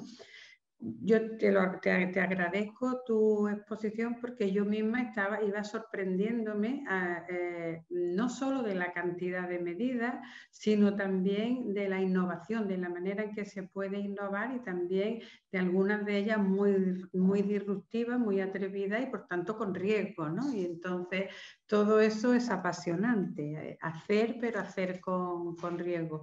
También el hecho de buscar alianzas, todo una estrategia pues muy, muy inteligente. Me llama la atención y quería, claro, mi pregunta era cómo transferimos a las pequeñas empresas, pero tú misma has conectado, pues hay acciones a coste cero, que nada más que es mentalidad, cambio de mentalidad. Entonces, para que las empresas... Eh, mm, las más pequeñas que pudieran caer en la tentación, pues como somos pequeñas tenemos menos capacidad de maniobra, tenemos menos recursos, eh, puedan avanzar en la igualdad y también tener esa, eh, pequeñas unidades, pero al final unidades que se muestran a la sociedad eh, de manera mm, comprometida con, la igualdad de género y con la diversidad, ¿qué consejo o qué recomendaciones más exactamente le darías tú para que, que pudieran eh, el primer paso, la recomendación del primer paso?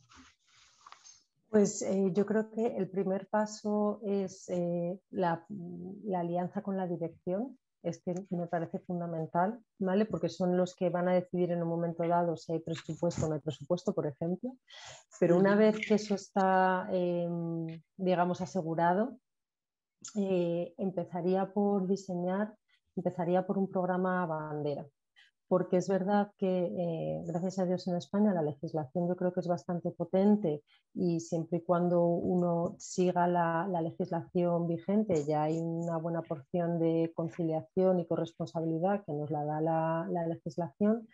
Eh, y de cara a los empleados, generar algún tipo de programa, más que políticas, eh, algún tipo de programa, yo creo que puede tener un buen impacto a nivel de comunicación son normalmente más sencillos de poner en marcha que las políticas, porque en las políticas hay veces que tiene que entrar mucho el tema de relaciones laborales, eh, que tienes que ver también temas legales y demás. Entonces las políticas si tienes experiencia cero, pues pueden ser un poquito más difíciles de, desarrollar y pueden tardar varios meses, sobre todo si además hay sindicato eh, para medianas empresas, por ejemplo, que pueden eh, tener un sindicato, pues hay que entrar en negociación con el sindicato, es más complicado, ¿no? O lleva más tiempo.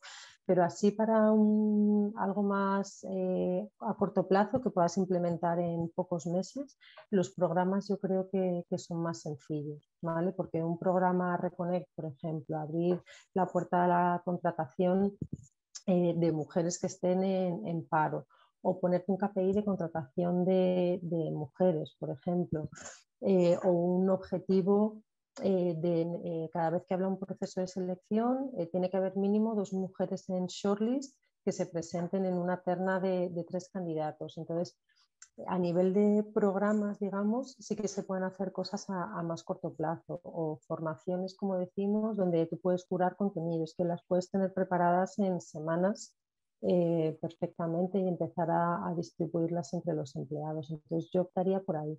Me parece que las políticas son fundamentales, pero esto es un trabajo más a, medio plazo y va a depender mucho de cuál sea el sector eh, de la empresa, va a depender mucho de cuál sea la relación que tienen con, con los sindicatos, etcétera. Entonces, eh, esto es más a largo plazo, digamos. Una política de conciliación con una reducción de jornada como la que tenemos nosotros, pues entiendo que no es algo que pueda sacar de una semana para otra. O una política como la que tenemos contra la violencia de género, pues tampoco es algo que pueda sacar de, de un mes para otro, porque hay muchos temas ahí de legales y de protección de datos que pueden influir. Entonces yo apostaría por un programa. Claro, porque además yo me doy cuenta cuando hablas, por ejemplo, del proceso de, selección, eh, nos dice, bueno, me tengo que obligar, tengo para revertir la situación, me tengo que obligar a que haya el mismo número de candidaturas, por ejemplo, para un puesto. Esto es coste cero. Coste cero para la empresa, pero un beneficio en que ingresa el mayor talento que hay eh, fuera, ¿no? O sea, hay un beneficio adoptar, por eso quizás remarcar que hay, y, por eso la alianza con la, con la dirección y, un cambio quizás de, la cultura de la empresa, en la mentalidad, en las actitudes para que estos programas puedan, previo, no lo sé. Sí, yo creo que ahí sí que tiene que haber un, compromiso y eh, una cierta formación. ¿no? O sea, digamos, si esto se está impulsando desde recursos humanos, eh, yo creo que, o el discurso que a nosotros nos ha servido mucho, es, el tema más económico, ¿no? porque en un principio pueden ser más reticentes o les pueden parecer menos útiles, pero es que tiene un impacto directo en rendimiento y tiene un impacto directo en que la gente no se vaya a otras compañías. Y hay un montón de estudios acerca de esto y quiero decir que están disponibles para todo el mundo. Entonces, eh, yo creo que el primer pasito para convencer, por ejemplo, a, la dirección es eh, que vean que esto tiene un impacto directo en, la parte económica de, la compañía, ¿no? que se traduce al final en, beneficios. Em, pues la rotación genera un coste para la, compañía y este tipo de programas lo reducen y además eh, aumenta el, rendimiento. Y ya te digo, nosotros para poder contratar, eh, cuando conseguimos tener en, shortlist, en las listas, eh, un tercio de mujeres, acabamos contratando un tercio de mujeres. Si conseguimos tener en las shortlist un 50%, vemos que al final se contrata un 50%. Entonces, eh, visibilizar el talento femenino externo y presentarlo a la compañía es la única manera de, contratarlo. Y para eso sí que hay que invertir un poco más de, tiempo, porque eh, normalmente es talento que es más reticente a cambiarse de compañía, eh, porque tienen ese perfil un poco más conservador a la hora de buscar trabajo, de levantar la mano, de buscar promociones, etcétera, etcétera. Entonces hay que invertir un poco más de tiempo en encontrar este talento y convencerse, convencerles de que eh, se vengan contigo, pero o tienes una cultura interna que apoye el talento femenino con otros programas y con otra cultura, o realmente es que no, entonces al final es la pescadilla que se muerde la cola. Si tú quieres atraer talento femenino a tu empresa, tienes que asegurarles que una vez que están dentro, toda la cultura apoya ese talento femenino en las siguientes etapas. ¿no? Si no, pues tú les puedes vender algo y luego cuando entren no haya políticas de conciliación o no haya una cultura donde se forme a, los empleados para eliminar sesgos o donde se intente que esa promoción del talento femenino sea, se impulse de una forma más eh, explícita y directa, pues no tiene mucho, no va a tener mucho recorrido al final. ¿no? Claro, pues entonces estamos en eso, en un recorrido que se inicia con la toma de conciencia, que normalmente he querido interpretar, al menos en vuestra compañía, proviene de las medidas, las propuestas, las estrategias de recursos humanos externos internamente que la compañía hace suya, a veces por convencimiento y porque también hay que decir que la igualdad y la diversidad es rentable económicamente y también a nivel reputacional y de posicionamiento de marca. Y por otra cuestión que no nos olvidemos que las mujeres eh, mm, recientemente, pero con un poder de compra y de decisión de compra muy importante. Por tanto, es una estrategia inteligente, aunque como tú bien has dicho al principio, creo que has querido decir, lo hacemos porque es lo que tenemos que hacer, es lo que tenemos que hacer, ¿no? O sea que a partir de ahí, pues todo, todo ese recorrido. Yo voy a aprovechar una última, probablemente. Mm, porque me llama la atención, me llama la atención, no, me gusta que las medidas tanto de conciliación como las medidas que, se puedan beneficiar de permisos de paternidad y maternidad, pues se, hablan, se abran a los señores, porque si no siempre habrá un hándicap. Si son las chicas las que tienen la carga, lógicamente quienes emplean dice contrato con una carga ya añadida. Pero yo que tiene el dato, no te quiero poner un compromiso de impacto.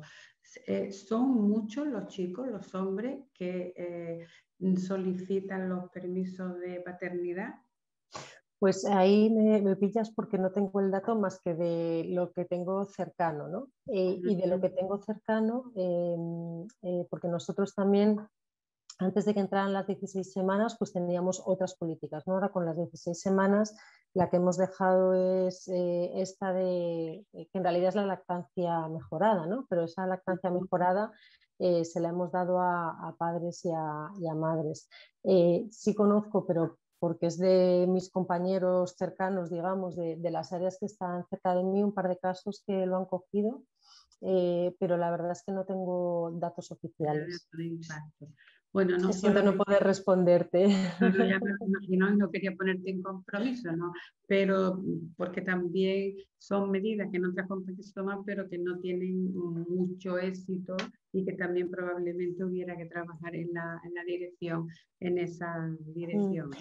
en nuestro caso, eh, lo que sí pueden hacer es eh, esos, creo que son 12 días de lactancia lo que te dan por, por ley nosotros lo tenemos ampliado a 25, 26, bueno, lo, tenemos duplicado y hacemos lo mismo, ¿no? O sea, los papás y las mamás o bien se pueden coger esos 25 días de, lactancia después de las 16 semanas o bien lo pueden cambiar por e, esa jornada 30 horas con salario completo hasta que el bebé cumple un año. Entonces, no te sé decir eh, porque o te acoges a una o te acoges a la otra, pero tienes, cualquiera de las dos la, puedes coger. Entonces no sé qué padres se acogen a la de los 25 días y cuáles se, eh, se acogen a, a, la jornada reducida. Pero lo que sí que hacemos es que la lactancia mejorada es eh, tanto para padres como, como, para madres. Pero ahí me has pillado. ¿Cuál, eh, ¿Qué modalidad eligen? porque las mamás hay veces que también que eligen los 25 días porque prefieren estar 25 días más en casa con el bebé y luego se incorporan a jornada completa. Pero lo preguntaré porque me parece interesante. Bueno, no, yo por pura, por pura curiosidad, yo sabía que era difícil que tuviera el disculpame. Eh, en todo caso, en todo caso ya la iniciativa de eh, abrir las posibilidades de filiación y las posibilidades de la para hablar de conciliación a mí me parece ya admirable y os felicito por eso, ¿no? Porque al final eh, casi todas las medidas, por no decir todas las medidas que tenéis los programas externos e internos, van a la línea de explotación, es decir, no son poses.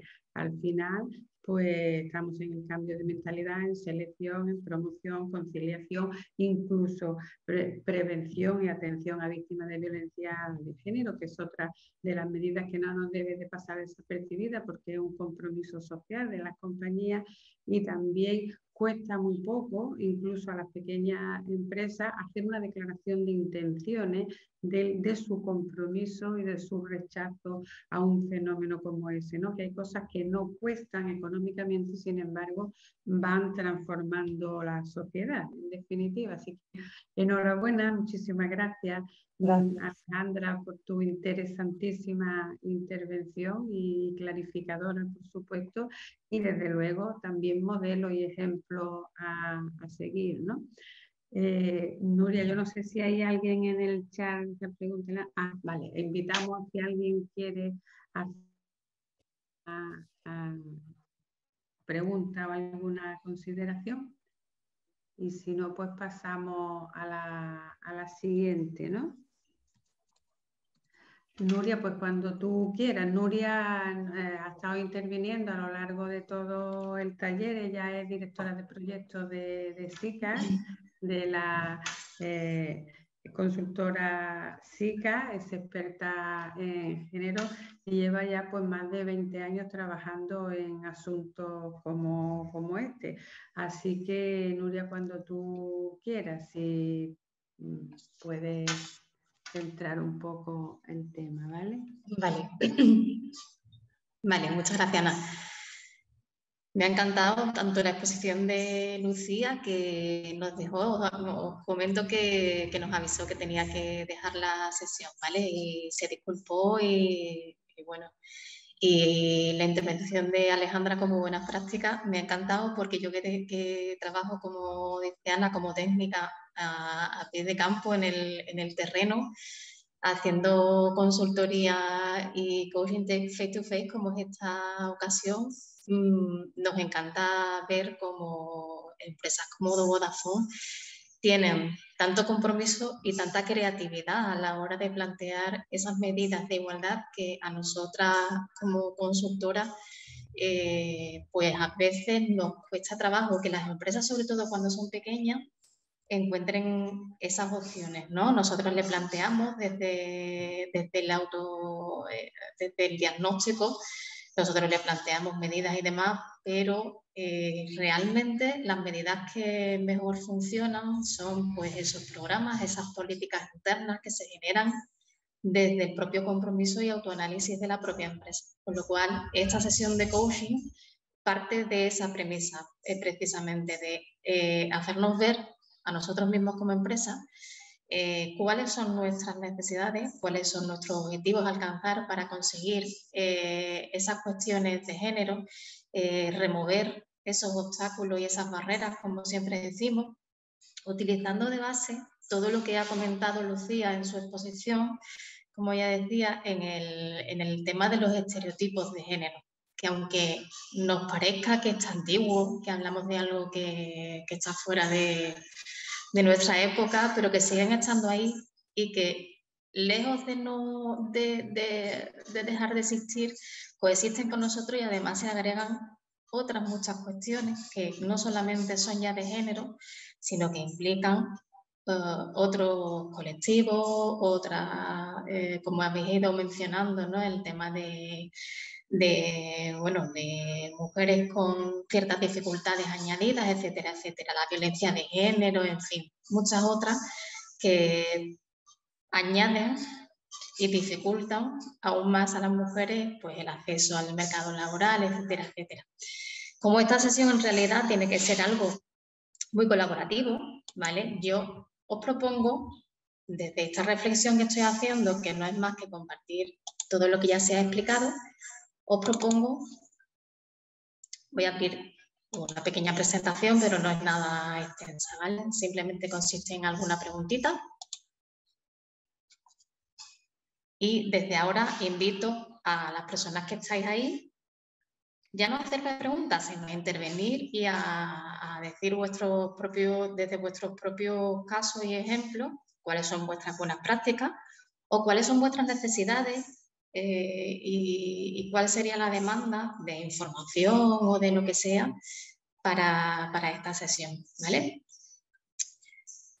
Os hago una, una breve introducción de una situación de partida. Sabemos a día de hoy, porque además como tenemos unos reales decretos aprobados hace muy poquito tiempo que han modificado la Ley Nacional de Igualdad, como sabemos, y también contemplamos la ley andaluza, por supuesto, eh, de promoción de igualdad de género en Andalucía, sabemos que las empresas a partir del día 7 de marzo tienen que presentar en registro su plan de igualdad a partir de 101 trabajadores.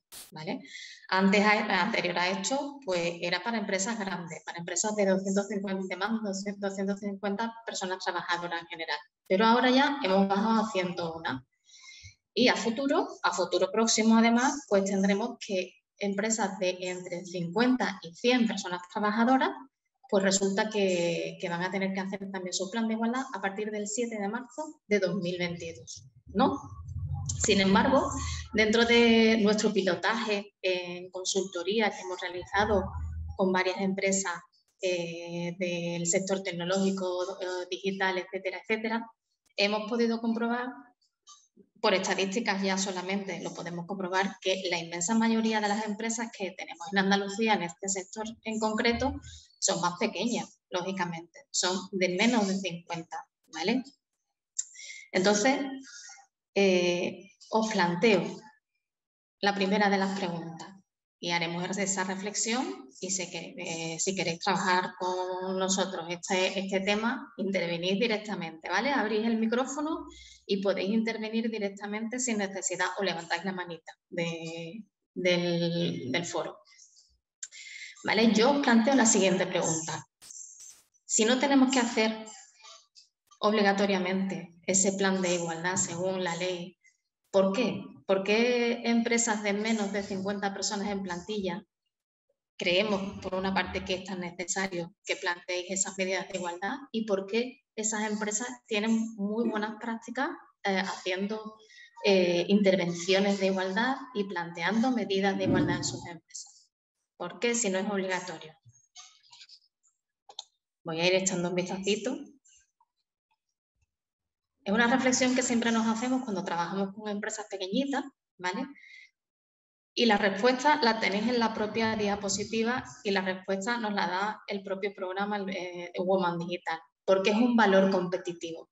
Bueno, previo a esto, en, realidad es porque estamos dentro de la ley, ¿vale? Nosotros siempre decimos, estamos dentro de la, de la, ley, estamos dentro de la normativa. ¿Por qué? Porque aunque es cierto que las empresas pequeñas no tengan que hacer su plan de igualdad, pero no es menos cierto que tienen que cumplir con la normativa vigente. Y lo que nos dice básicamente es que todas las empresas tienen que incluir eh, el respeto a la igualdad de oportunidades y de trato, en este caso de género, en este caso de, de hombres y mujeres, pero en general cumpliendo con nuestra constitución, evidentemente, eh, el respeto por la diversidad, ¿vale? Para estar dentro de la normativa. Pero, por supuestísimo, eh, teniendo ya contemplado esta opción, es porque realmente creemos, y los estudios, las investigaciones nos avalan, Lucía ha comentado muchos de los datos eh, de esas publicaciones de actualidad última, generan un valor competitivo para nuestras empresas. Y es muy importante lo que ha dicho Alejandra con el tema de eh, la sensibilización y el compromiso desde la alta dirección en las empresas. Que lo tengan claro socias y socios, en las pequeñas, como nos hemos encontrado en el pilotaje eh, del Woman Digital, ¿no? de empresas pequeñitas, eh, los propios socios, las propias socias, que lo tengan clarísimo y que sean capaces de ir contaminando positivamente a las personas que integran sus empresas, aunque muchas veces son, ya os digo, empresas muy pequeñitas. Ese valor competitivo que genera al final beneficios porque hace a las personas más productivas, más rentables, por ende, con lo cual al final más beneficios para las empresas, ¿vale? pero también porque eh, ese mejor clima laboral que también comentaba Alejandra en, las últimas diapositivas, ese mejor clima laboral, ese sitio donde tú vas a trabajar cada día, la mayor parte de las veces ocho horas diarias, es un sitio de encuentro también social, lógicamente, y la empresa tiene que procurar que esas personas se encuentren en igualdad de condiciones, en igualdad de oportunidades. Con lo cual ese clima laboral mejora y, el rendimiento pues se ve afectado positivamente. ¿Vale? Seguimos un poco, porque como he estado comentando, hay muchas de las cosas que han ido eh, explicando magníficamente tanto Lucía como Alejandra. Entonces, aplicado a estas buenas prácticas dentro de las empresas más pequeñas, en este caso, ¿no? en, en, las que hemos ido trabajando, hemos tenido la suerte de tener colaboraciones con, con, todas ellas dentro de este programa de pilotaje de, de, consultoría de medidas de igualdad de estas empresas. Entonces, una vez que tenemos claro el porqué, el porqué de estas empresas que no necesitan plan de igualdad, insisten en hacer medidas de igualdad, ¿cómo pueden hacer? ¿Cómo pueden llevar a cabo estas medidas de igualdad dentro de sus empresas? Porque, como decía Alejandra, como le preguntaba Ana, ¿cómo hacen estas empresas? ¿Cuáles son las iniciativas o cuáles son los motivos eh, para iniciar y cómo lo llevan a cabo, porque no tenemos por qué tener conocimientos técnicos de cómo implementar esas medidas dentro de nuestra empresa. Afortunadamente, las empresas que han estado dentro del programa de pilotaje se han llevado ya pues, tanto el conocimiento teórico como el bagaje de haber tenido que eh, ponerse incluso las pilas para hacer su autodiagnóstico, para entender su empresa desde otra perspectiva que es muy enriquecedora. Y además así nos lo comentaban todas y todos, decían, la verdad es que es una de las eh, oportunidades mejores que hemos tenido en el, sentido de eh, que no siempre hacemos un autodiagnóstico de nuestra empresa desde la perspectiva de la igualdad eh, de oportunidades y, de trato de mujeres y hombres. ¿no? No, no tenemos siempre esa oportunidad de hacer el, el, autodiagnóstico. Entonces, ¿cómo? Pues precisamente eso, haciendo un análisis de nuestra empresa, un autodiagnóstico, una radiografía en el momento actual y contemplamos, como dice ahí, cuáles son las áreas que tenemos que contemplar. Bueno, pues desde la cultura empresarial, como decía antes, esa cultura empresarial que tiene que estar impregnada de estos valores y, eh, de igualdad para que toda la empresa desarrolle, pueda desarrollar programas, medidas, como decía Alejandra, pero con un valor de género y, una iniciativa de género clara, porque al final estas medidas se van a tener que implementar dentro de la empresa y es mucho mejor cuando las personas que integran esa empresa tienen clarísimos estos valores de género. ¿Vale? Bueno, pues hacer ese diagnóstico en qué área, decía, pues en el, área de la cultura y luego en la gestión del talento en general, porque nos encontramos que las empresas pequeñas se centran mucho en el tema de selección y contratación. Claro que si hacen una selección, aunque sea inclusiva, con esto de técnicas actuales, el currículum eh, ciego y demás, sí, pero si tú no has contemplado, como bien decía Alejandra, dentro del proceso de reclutamiento, cómo busco a esas personas en el mercado laboral y cómo trato de que haya mujeres, incluso en un sector como este de, las nuevas tecnologías, del sector digital, que nos cuesta mucho trabajo encontrar a mujeres porque es cierto que, que, las vocaciones STEM pues son minoritariamente mujeres las que están representadas. ¿Cómo hago para reclutar perfiles femeninos? Bueno, pues insistiendo, insistiendo, es que es la única manera. No podemos recurrir a los medios tradicionales si no tenemos resultados. pues tendremos que esforzar un poco, como decía Alejandra, tendremos que decir que eh, cuando lleguen los currículums a nuestra empresa haya al menos un tanto por ciento de mujeres y procurar que, haya ese, ese porcentaje. ¿Cómo hacemos esto? Bueno, pues utilizando los medios de comunicación apropiados, eh, utilizando los canales eh, de contratación adecuados, a través de bueno, pues, terceras empresas, como decía Alejandra, o bien por nuestros propios medios, pues poniendo anuncios incluyentes, utilizando muy bien el lenguaje eh, no sexista, etcétera, etcétera. Entonces reclutaremos a personas y trataremos eh, de que haya una representatividad de ambos sexos, ¿vale? Eso por una parte, pero no solamente en el reclutamiento, luego seleccionamos en base al talento, la experiencia, etcétera, etcétera, sin ningún tipo eh, de estereotipos que se nos interpongan por el camino y, seguimos con el proceso, porque esa persona que seleccionamos y contratamos luego tiene que integrarse en la empresa. Bueno, pues el tema de la formación en materia de género tiene que estar presente en nuestro recorrido. Es una de las medidas que más han demandado las empresas pequeñas que hemos tenido en nuestro pilotaje porque se han dado cuenta que no es algo eh, que se pueda dar por hecho.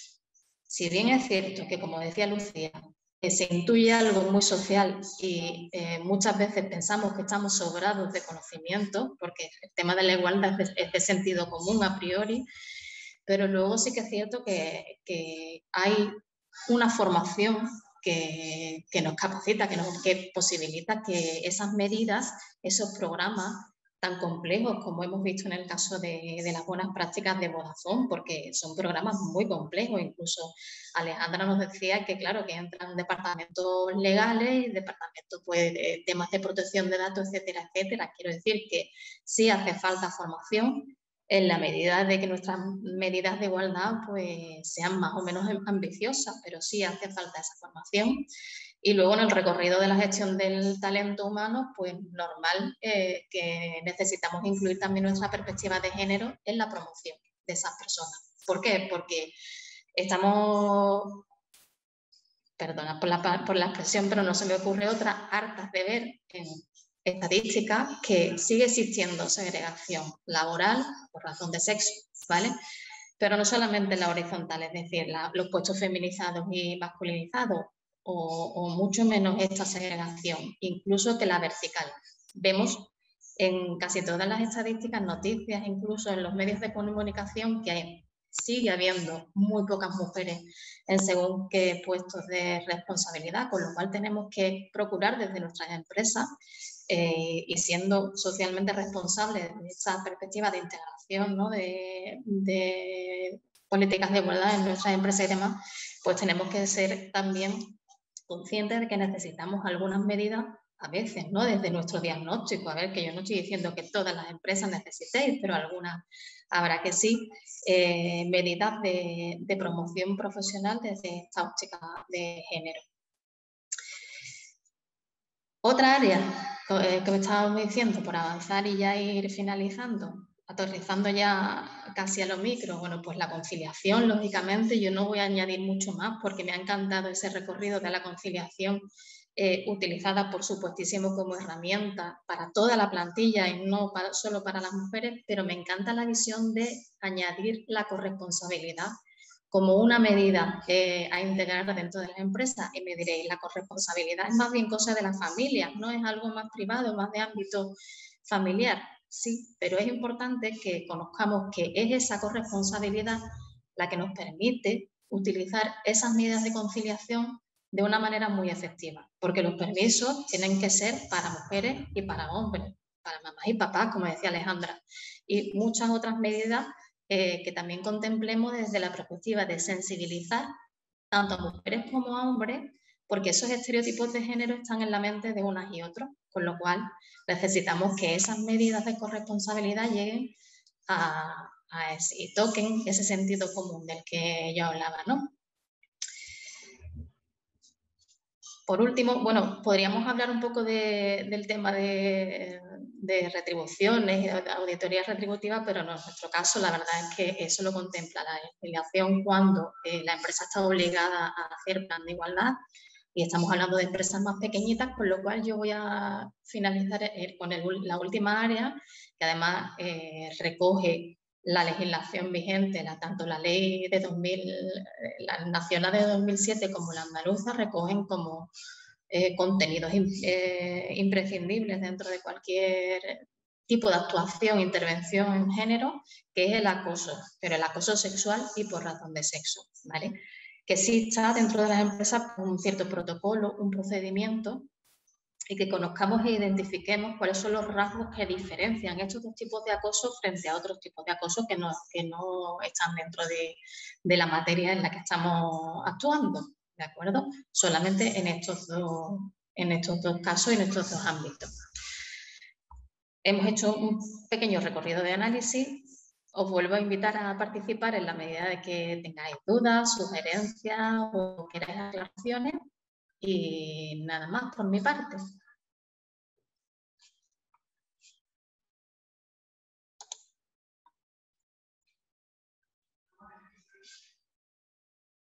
Ahora, Nuria, que se había ido vale, vale. la, pantalla. Casi estamos en hora. Yo no sé si alguien quiere hacer una intervención, alguna consideración a la exposición de Nuria.